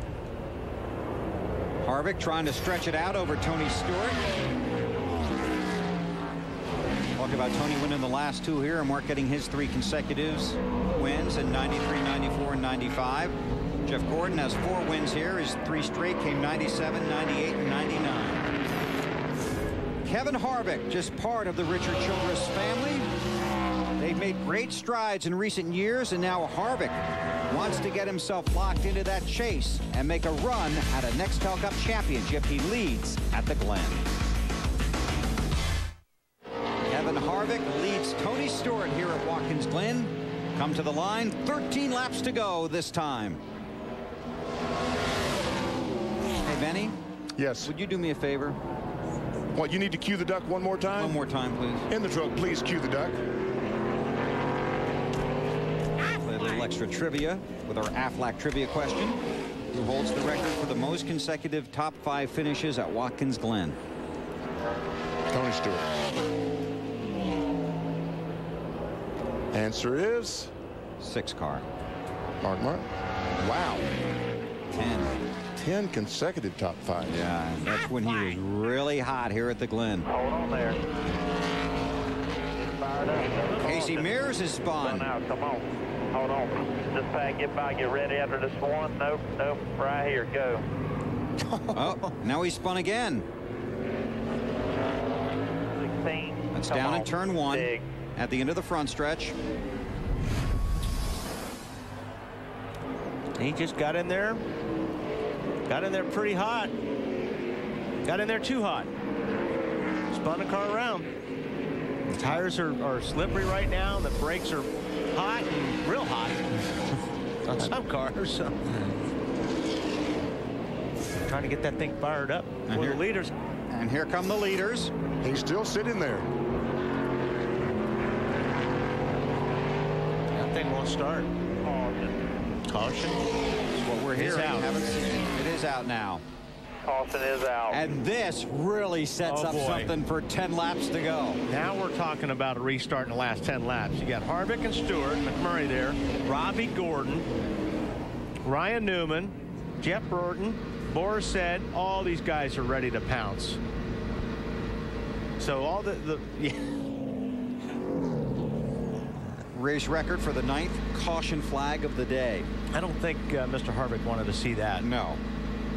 This is not what he wanted to see. What's Robby Gordon thinking right now? Oh, he is licking his chops. Are you kidding me? So it's Harvick, Stewart, Jamie McMurray, Robby Gordon, and Ryan Newman, your top five.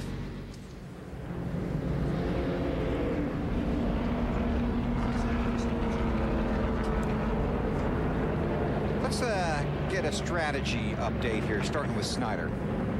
Bill under under the caution through the field, and Kevin Harvick's team is uh, not too concerned about the fuel anymore. There's been no mention of it for quite a while. Kevin was asked about his position in the championship standings earlier this week. He said, "We just cannot afford to make any mistakes. The teams who make the chase will be the ones who don't make any mistakes in the final five races. They're hoping the fuel holds out and they can hold on for a win at Watkins Glen." Allen. Two laps ago, Tony Stewart called in under green to his crew chief Greg Zipadelli and said, keep me up on the laps. In other words, he wanted to know how many laps left in the race. He was told 14 to go. Tony Stewart trying to judge what he needs to do to get the win. Jamie McMurray having a great run. Best finish this season so far is a second place run at Dover in June. He's running third now. His crew chief Bob Osborne told me this morning he and Jamie getting together on the package, the feel Jamie McMurray likes in the race car, and the chassis settings they need to make them go. Robby Gordon running fourth says that he he needed this caution to help him get his car squared away for the finish. Cool things down, get squared away to go. He described it as a big problem, but the caution should help him have a shot at these guys in front of him. Matt? AB, before the caution, Ryan Newman had just motored into the fifth position. He was eight and a half seconds from first. And Matt Borland just told him, like we've heard a lot of other crew chiefs talking, reminding the driver the sevens there, the 26, the 20, some interesting things could take place. Be on your toes. But Newman was the fastest on the racetrack the last couple laps right before that caution. He just needed this break, Bill, to have a one more shot at a win here. Good point, Matt. He restarted 14th on lap 67, now in the fifth spot. Big day of sports here on NBC. Got the racing going on now. The NFL tonight. Sunday Night Football here on NBC. Alan John will have the call. The Redskins and the Bengals tonight, 8 Eastern, 5 Pacific, Sunday Night Football on NBC.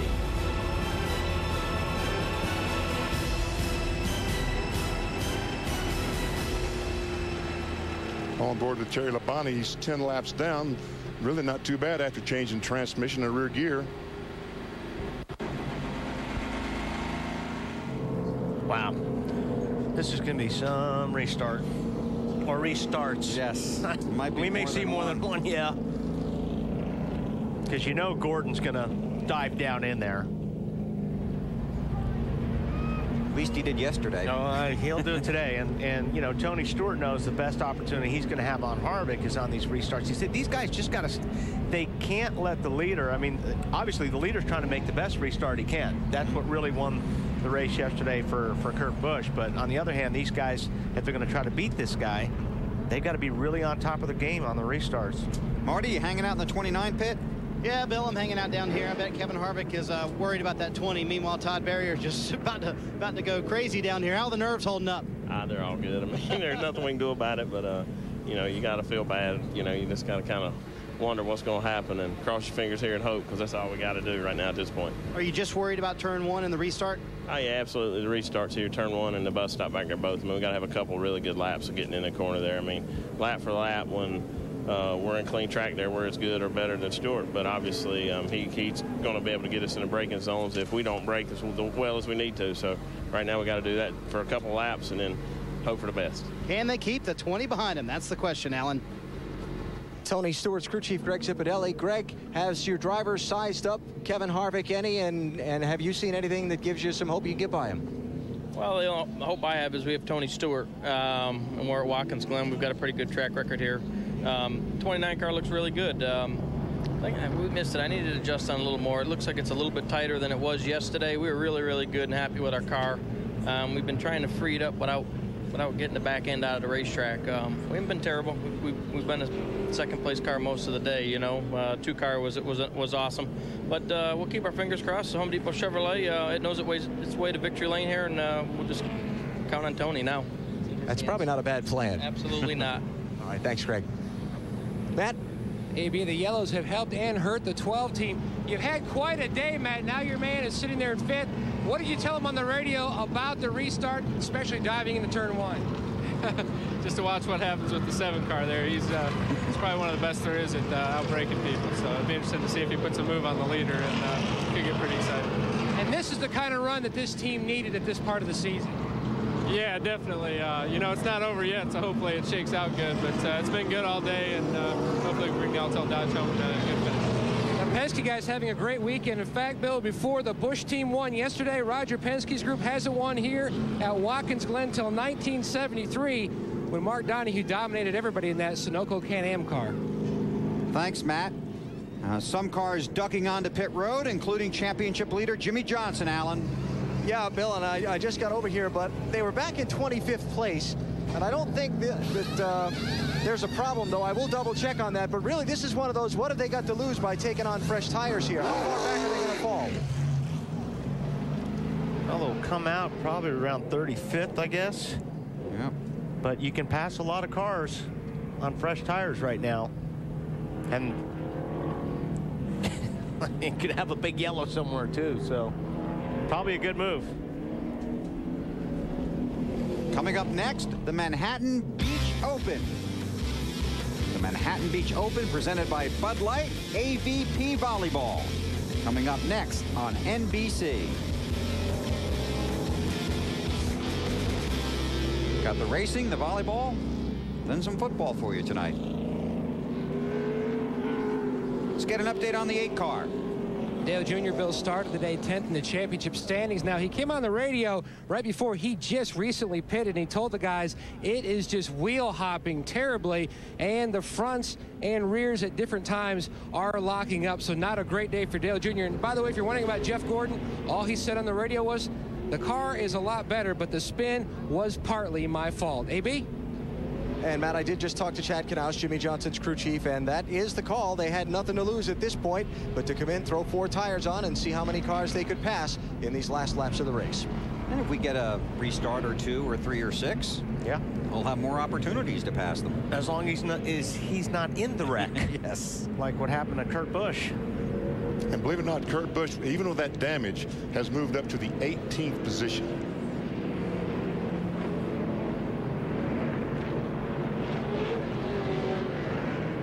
Are out on the pace car. Get the green flag this time by.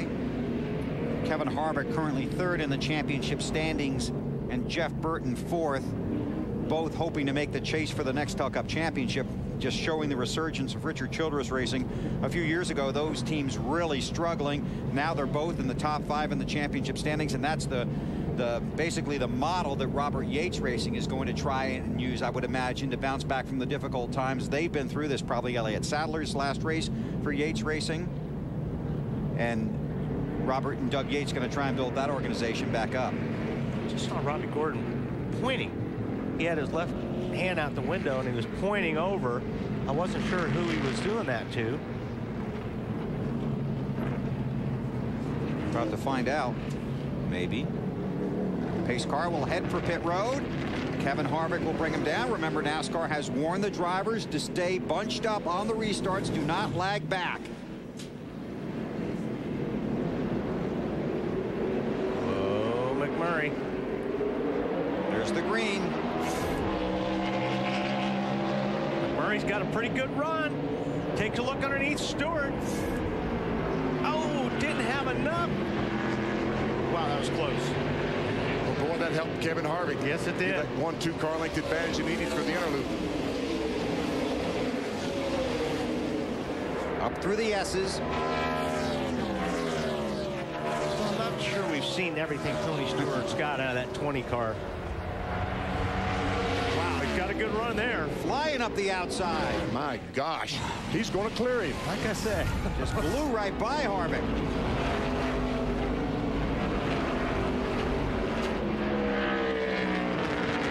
That was pretty strong. Now Robby Gordon's going to be looking to get by McMurray because he's got to clear these guys if he thinks he's got a shot at winning this race. But like I said earlier, McMurray's been getting into the corners really good. He's very strong in the braking zones. Now Harvick will try and go to work on Stewart down the front stretch. When Robby's right there on back of McMurray as well. Eight laps to go. Harvick stays on the Oh, Michael Gone around. Stewart got in there awfully deep. Stay under green. Kyle Busch making the track a little bigger, and now the caution flag is out.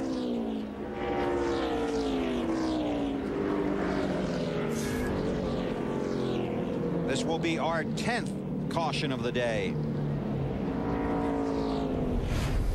See if we can see what happened to Michael. I don't know if Wow, there's he hit contact hard. between he and Bowyer or not. On board the 55.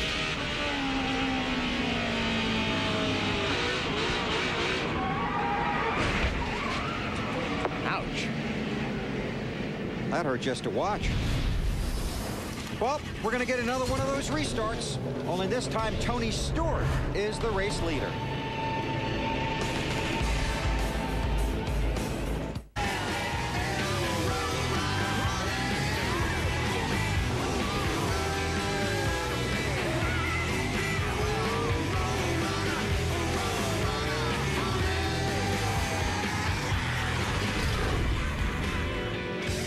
Twenty-six career wins for Tony Stewart, including two in a row here at the Glen. Trying to join Mark Martin and Jeff Gordon with three consecutive wins at this track. Tony currently sixth in the championship standings. He's got Kevin Harvick on his bumper. We get an update from Marty.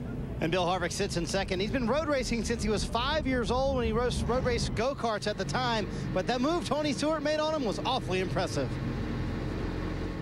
Every time I go in the corner, they just go to the floor. So, see what I can do, boys. But we'll give her hell. If I can get past, if we go past two laps, I think I can pass it back. But just those first couple laps, won't turn and won't stop. Kevin, you getting up off the corner a lot sooner. You know, that's where you, you got it. And outbrake. I mean, you're doing good, man. Now we're just thinking about the big picture here. We're going to be fine. Still win this. What Harvick said at the beginning of that was, there's no way I can drive into the corner as deep as that 20 car can.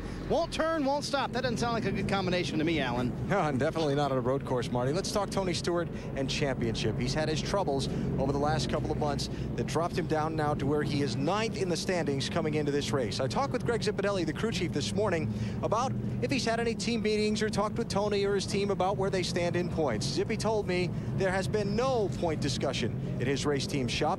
He doesn't want to put the pressure of the race to the chase on his team. He wants Tony and the crew members to just concentrate on doing their jobs, and they'll worry about the points later. Matt? AB, some concern down in the 12 pit. Ryan Newman, right as the caution came out, says he's having some kind of issue with the transmission.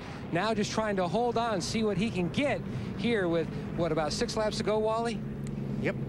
Six laps to go when they come back by the start-finish line. Tony Stewart has won three of the last four races at Watkins Glen. Has finished 11th or better in six of his seven races here.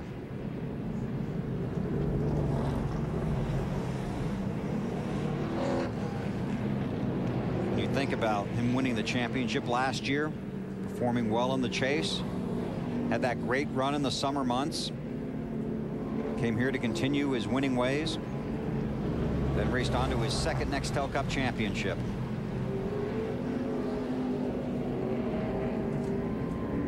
And you heard Richard Childress talking to Kevin Harvick. And you could hear in his voice, just stay calm. Yeah. We want we we might be able to win the race, but we're going to be able to get some points, and that's going to be a good day for us. Stewart, Harvick, McMurray, Gordon, Ryan Newman, top five. Boris Said in the 60 car, currently running sixth and he has earned our Ford Bold Move of the Race Award. We're on board with Boris. He goes down in the inner loop, gets tagged by the 90 car, but he doesn't get stuck. He doesn't get stuck. Listen.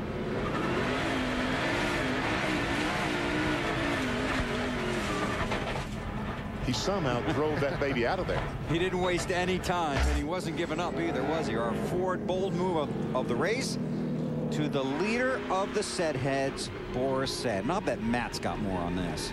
Well, they've got 400 fans here that seem to follow Boris around wherever he races. This team really hunkered down, Bill. They last pitted on lap 50, and they just worked the cautions. Boris worked traffic masterfully, working his way right now on a, a nice top 10 finish. Boris told me next year they have big plans for this team. Right now, just trying to end what could be their final race of 2006 on a very positive note. And also, what about the 41 of Reed Sorenson? They last pitted around lap 44, playing the cautions as well. Very solid run for somebody who went off course this weekend and, and just trying to build more confidence here on the road courses. Boris Said is a cult figure when it comes to NASCAR Nextel Cup racing. Who said Boris Said? Who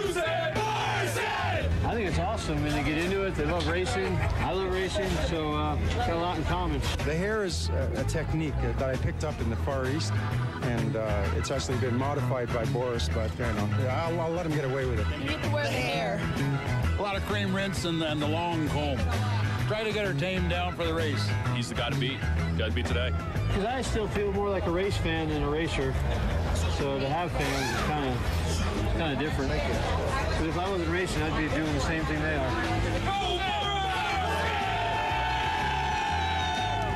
I tell you what, the way my hair's falling out, I might be a candidate for one of those wigs. we'll try and hook you up with Boris.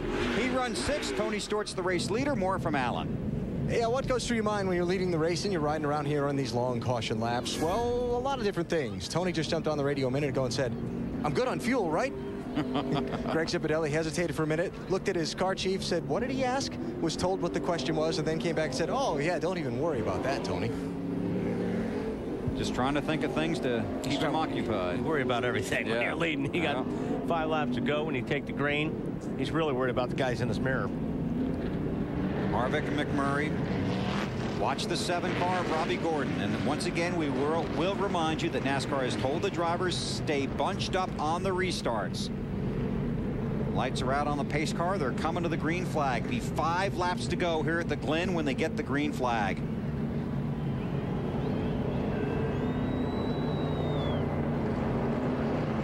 We heard Kevin Harvick say that his car doesn't want to stop or turn or turn, but brakes, I guess, that, his biggest good. concern. Yeah. Yeah.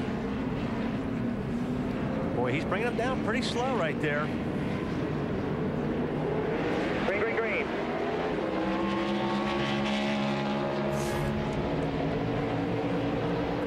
Oh, here comes Robby, but McMurray puts the block on. Oh, there's contact between Boris Said and Carl Edwards. Carl Edwards.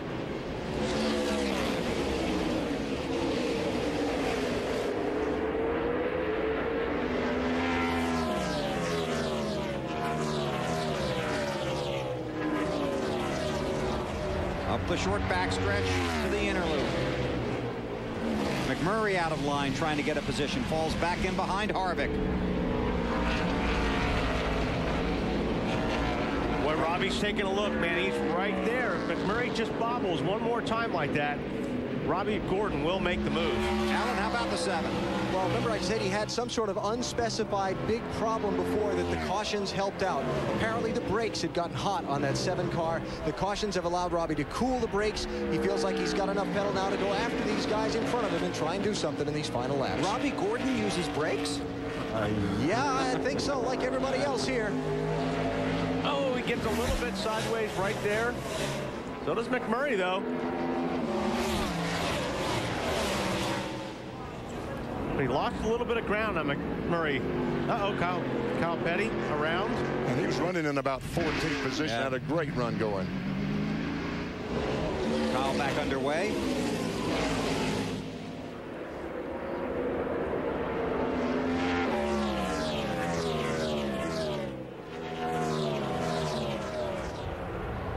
What? Here, come, here comes Robby again, right? Yeah, Robby just got a little bit too sideways getting off of seven, lost a lot of ground on McMurray. So now he's got to gather it all back up and try to get close enough. And he is driving the wheels off that thing right now, but he can't get the car really bad out of shape. Or McMurray's just going to keep driving away. He's got Ryan Newman behind him.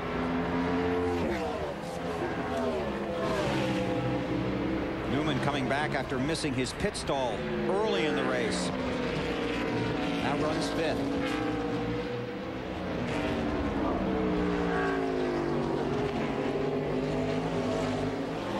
Oh, look at Kevin Harvick on the inside of Stewart down the straightaway. Let's see.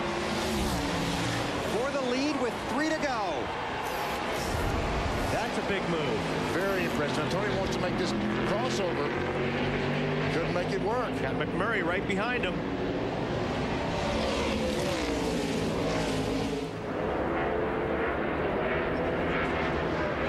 Or maybe he's just going to pull the same move he pulled a moment ago down the back chute. Gonna be tough to do it a second time. Yeah, I don't think he had a run. He had a run on Harvick that one time coming up through the S's. Not quite the run this time.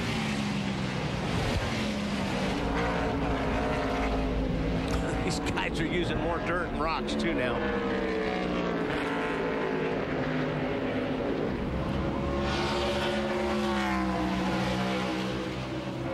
Robby trying to stay hooked up to those front three. McMurray losing a little bit of ground there. Also, the 12th car, Ryan Newman, losing contact with Robby Gordon. Problems for the 12, Matt. Bill losing ground to Robby Gordon due to the fact that they believe the motor mount is broken. He says the engine, the throttle hung wide open last time by. So now he's just trying to nurse this 12 car home and fend off the 60 of Boris Said who's trying to close in. Two laps to go. Excellent. You're pulling off the corners. Good job. Harvick heard his car owner Richard Childress tell him, you can still win this thing.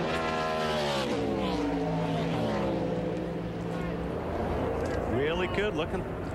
Pretty strong through the S's there that time for Harvick. And that's what he's got to do. He's got to come off those S's really good. He can't give Stewart an opportunity to get close enough to pull underneath him and outbrake him. Got through the bus stop, Marty. Yeah, Bill, also in that, in that conversation, Kevin Harvick was told by Richard Childress, you're better from the middle of the corner off than the 20 car, and that's what he used in that last corner on the front stretch here to pass the 20 car. He also told him, remember, we're big picture racing. You don't think Kevin Harvick would be conservative, though, do you? He's going for the win the whole time. He'd love to get back to victory lane. Won earlier this year at Phoenix.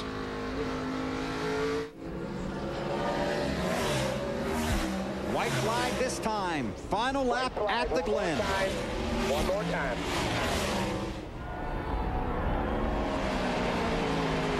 And all Todd Berrier of the crew chief can think about is gasoline. Or lack thereof. Or lack of gasoline, yes. How much did we lose? Caution flags. I can't see it being a problem, but I there's think no way of knowing. Yeah, I think Marty said they thought they were okay with all the cautions, but I'm sure they're still thinking about it. One more time through the inner loop. And no pressure from behind right now. Oh, I saw it coming. Boris Said and Ryan Newman. Ryan Newman was blocking the heck out of Boris Said, and I think they're both. Somebody spun out in the inner loop right now.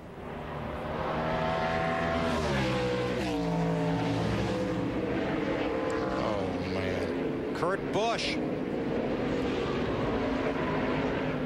He spun back there. Kevin Harvick coming off the final turn.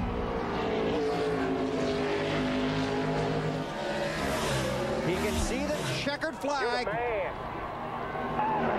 Kevin Harvick wins at the Glen.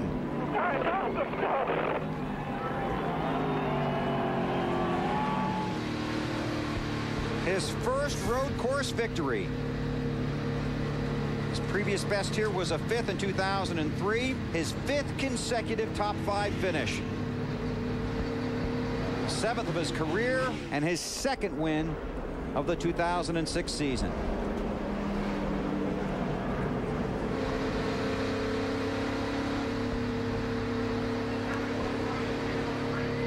Impressive drive today for Kevin Harvick. Chevrolet congratulates Kevin Harvick and the 29 Monte Carlo SS on another great team Chevy victory. 25 of the last 34 NASCAR Manufacturers Championships and counting. Chevy, an American revolution. Away from Robby Gordon, Scott Pruett, Kevin Harvick celebrates, and so does his crew. Marty. All smiles down here in the 29 pit, and these guys keep meticulous notes. At one point, Todd Berrier wrote down, I'm about to throw up. You handled it okay, though. Congratulations. Yeah, I was actually talking to Scott Miller and Jazzy up there on the 31. You know, I was like, cross your fingers, man. You know, if we get if we can get 395 and we didn't spill more, if we didn't spill more than three gallons, then we're good to go to the end. So we were sweating it a little bit, but I mean, obviously we we got there. We couldn't do anything about it. We couldn't stop. So uh, good Lord was looking after us. How much were you worried about the fuel? And when the 20 passed you, did you think it was over? I didn't think it was over because I knew our car was pretty good on long haul, but we weren't as good in the braking zones. But uh, we just had a new engine package we brought here for the first time, made a lot more torque, and we passed the man off the corner. So obviously that was a big deal today. Obviously they did. Middle of the corner off. That's what they told Harvick. You can beat the 20 there, and that's where he passed him. Started seventh. Now he's headed for victory lane. Now here's what Wally was seeing. I thought I saw these two guys going after it, and they were going after it. And, and Newman did spin. Yeah, they did get entangled up. And Carl Edwards goes down through the sand trap. And it looked like um, Kurt Busch got in the back of uh, Jeff Burton. Oh, Kasey Kahne is like the last corner, isn't it? Yep. That turn six. But he kept Oh. going. Stayed in Wow. it. He lost a lot of spots, though, by the looks of all those cars going by. Second week in a row, he's Ah, had a the tough last lap. lap. He's also on the last lap. Yeley around. It's like a flat tire on the Yep. Yankees car.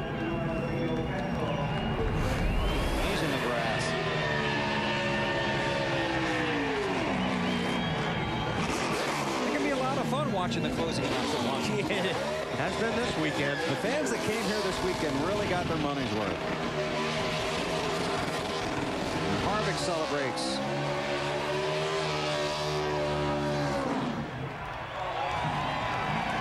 When the smoke clears, you see the race winner. Happy Harvick's going to be happy. See the results on the bottom of the screen. Unofficially, Harvick third in the championship standings. Behind Jimmie Johnson happy. He, uh, Matt Kenseth. Beat a guy that's been pretty Oh, tough yeah. around here for the last couple of years. Speaking of which, Dave Burns. And Smoke didn't make it three in a row today, but gave it a pretty good try. And we thought when you blew by Kevin with just a few to go that that was it. What happened? I think I just overdrove the entries and exits. He was good. We just, well, I knew my only shot was to get him back there in the back, and uh, he gave me the outside. He didn't want me getting on the inside, and I got by him on the outside, but hang on.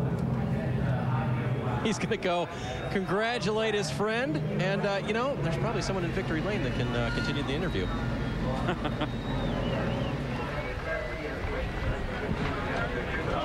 Race hard, clean. Yeah. A lot of respect between those guys. Kevin Harvick into victory lane. I wonder if Tony's going to go back to Dave.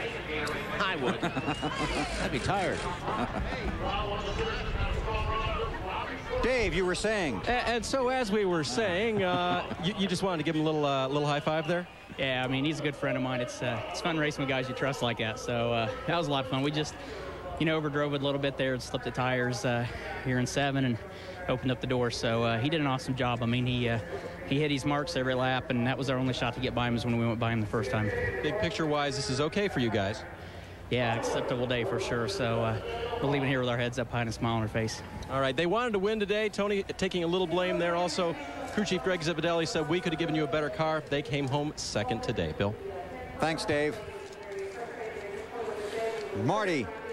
Well, Jamie McMurray finishes third today, and uh, that was impressive. Uh, do you think he had anything to get around the 20 and the and the uh, 29? Well, I thought I could get by Kevin. Um, and, you know, I felt like I was catching him before we made our pit stop, and uh, when we restarted, his car was just so quick. I, my only shot was to pass him in the inner loop. I uh, huge, huge power today with the Roush Yates engines. I uh, up through the S's, it was just incredible the runs I could get on people, and um, it made it so I could pass through the inner loop.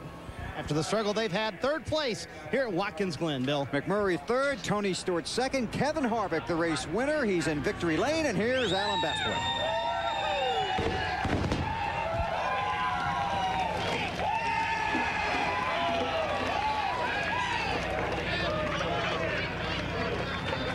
A celebration that speaks for itself as to what it means to this team to be in victory lane again this year. Kevin, I want to take you in steps through the late stages of that race. Nine to go. Tony Stewart goes by you. What are you thinking? I was thinking, oh my God, how am I going to drive into the into the corner that far and uh, pass him back? But um, you know, his it seemed like his brakes were fading. But uh, got to say hi to my wife. She stays home on the road courses, so uh, love you, DeLana. Sorry you won't hear. We'll be home late. So uh, this GM Goodwrench Chevrolet was a lot of fun to drive today. It was really good. Got the fenders caved in early and just never gave up. So it's uh, a lot of fun racing with Tony there. And I, I don't know how he passed me in the chicane steel, but uh, my car was really good getting into one and we were able to get back by. I was going to say, how did you pass him back? I knew my only shot was was getting into one. Um, he had to back up. It seemed like his car didn't have enough brakes getting in there, and it was tight getting to the center. And uh, I knew I was only going to have a couple chances, so it uh, took my chance and off it went and it stuck and we went by. So just want to thank everybody on this car. Snap-on, Reese's, SKF, Emerson, Sherwin-Williams, Team Realtree, GM Card, Sylvania, and my teammates. Blake Bowyer there. Yeah, my teammates uh, and Richard for uh, sticking with us and giving us everything we need to make these teams better. So uh, this means a lot, road course win. Uh, this has a lot to do with the driver, the team, and they gave me the opportunity and the track position to do so. So uh, thank Todd and all the guys. It was a lot of fun we were knowing here on pit road that there were some fuel concerns, that the overflow vent had stuck on your car and you were losing some fuel in that last run. How much were they telling you about that? Well, they didn't tell me, uh, but I saw it on TV on the big screen there. and I said, well, how much did it lose just uh, being able to see it on TV? But, um, you know, at that point, you pretty much got what you got. There's no reason to worry about it. You just do what you got to do and, and uh, go as hard as you can. Want to clue us in on what you and Tony were talking about there? Oh, we were just, uh, Tony and I are you know, really good friends, and and uh, to be able to race each other there at the end is a lot of fun. So uh, we both have big pictures, but we both want to win the race and do everything we can to do that. So it was a lot of fun racing with your buddy. Last question, big picture, you are up to third in the championship now. A thought? Ah, I mean, I think we can win it. Um, you know, once we get to 10 to go, this team has been really consistent, and as long as we don't have bad luck or do something that we hadn't been doing, uh, we should at least have a chance. He says he'll be home late tonight. Kevin Harvick, the winner at Watkins Glen. Dave? Allen, these road courses are where Robby Gordon can shine. You talked today about being down on horsepower, down on brakes. How disappointed are you with fourth? Well, one leads to the other, but, um, you know, a good run for all the guys at Jim Beam. DEI's guys have been doing us a good job. I know they went a little bit conservative with our motor because they thought that if uh, they gave me something that ran all day, we'd be able to win the deal. And it just wasn't the case. We just got yarded on the straightaways. Um, you know, they've given us good engines all year. Uh, good run for all the boys on Jim Beam crew and uh, Jim Beam, Harrah's, uh, Menards, all of our sponsors. Um, it's, it's, a good run for us. So it'll definitely help us in the points. Talk us through the last restart, Robby. Last restart, um, you know, just couldn't get close enough to outbrake them. Uh, to be honest with you, you know, I had um, had a little bit of an opportunity there. Um, tried them on the outside and just didn't have anything for them. All right, Robby Gordon finishes fourth today. It is the sixth time that he has finished fourth or better here at the Glen. Bill? Thanks. And among the other stories we tried to follow up down below, we uh, offered an invitation to Kurt Busch to talk about his day. Uh, he politely declined that inv invitation. Disappointing day for Kurt. Here are the championship standings. Just four races remain before the cutoff, and the chase for the next Nextel Cup championship begins. Tony Stewart moves up. Denny Hamlin, Jeff Gordon, Dale Earnhardt Jr. in 10th. And you look at the rest of them. And just to clarify a point, we attempted to get uh, Kurt Busch. We were unable to get to him for a post-race interview. Don't forget, next weekend, NASCAR heads to Michigan on TNT. Saturday at 2 Eastern, it's final cup practice, then Busch Series racing. And on Sunday, the race for the chase continues at 2 p.m. Eastern. Next up on NBC, it's the men's final at the AVP Manhattan Beach Open. And don't forget Sunday Night Football tonight with John Madden and Al Michaels from Cincinnati. For our entire race family, I'm Bill Weber. Thanks for joining us here at the Glen. Kevin Harvick is the race winner. Now, let's join Chris Marlowe.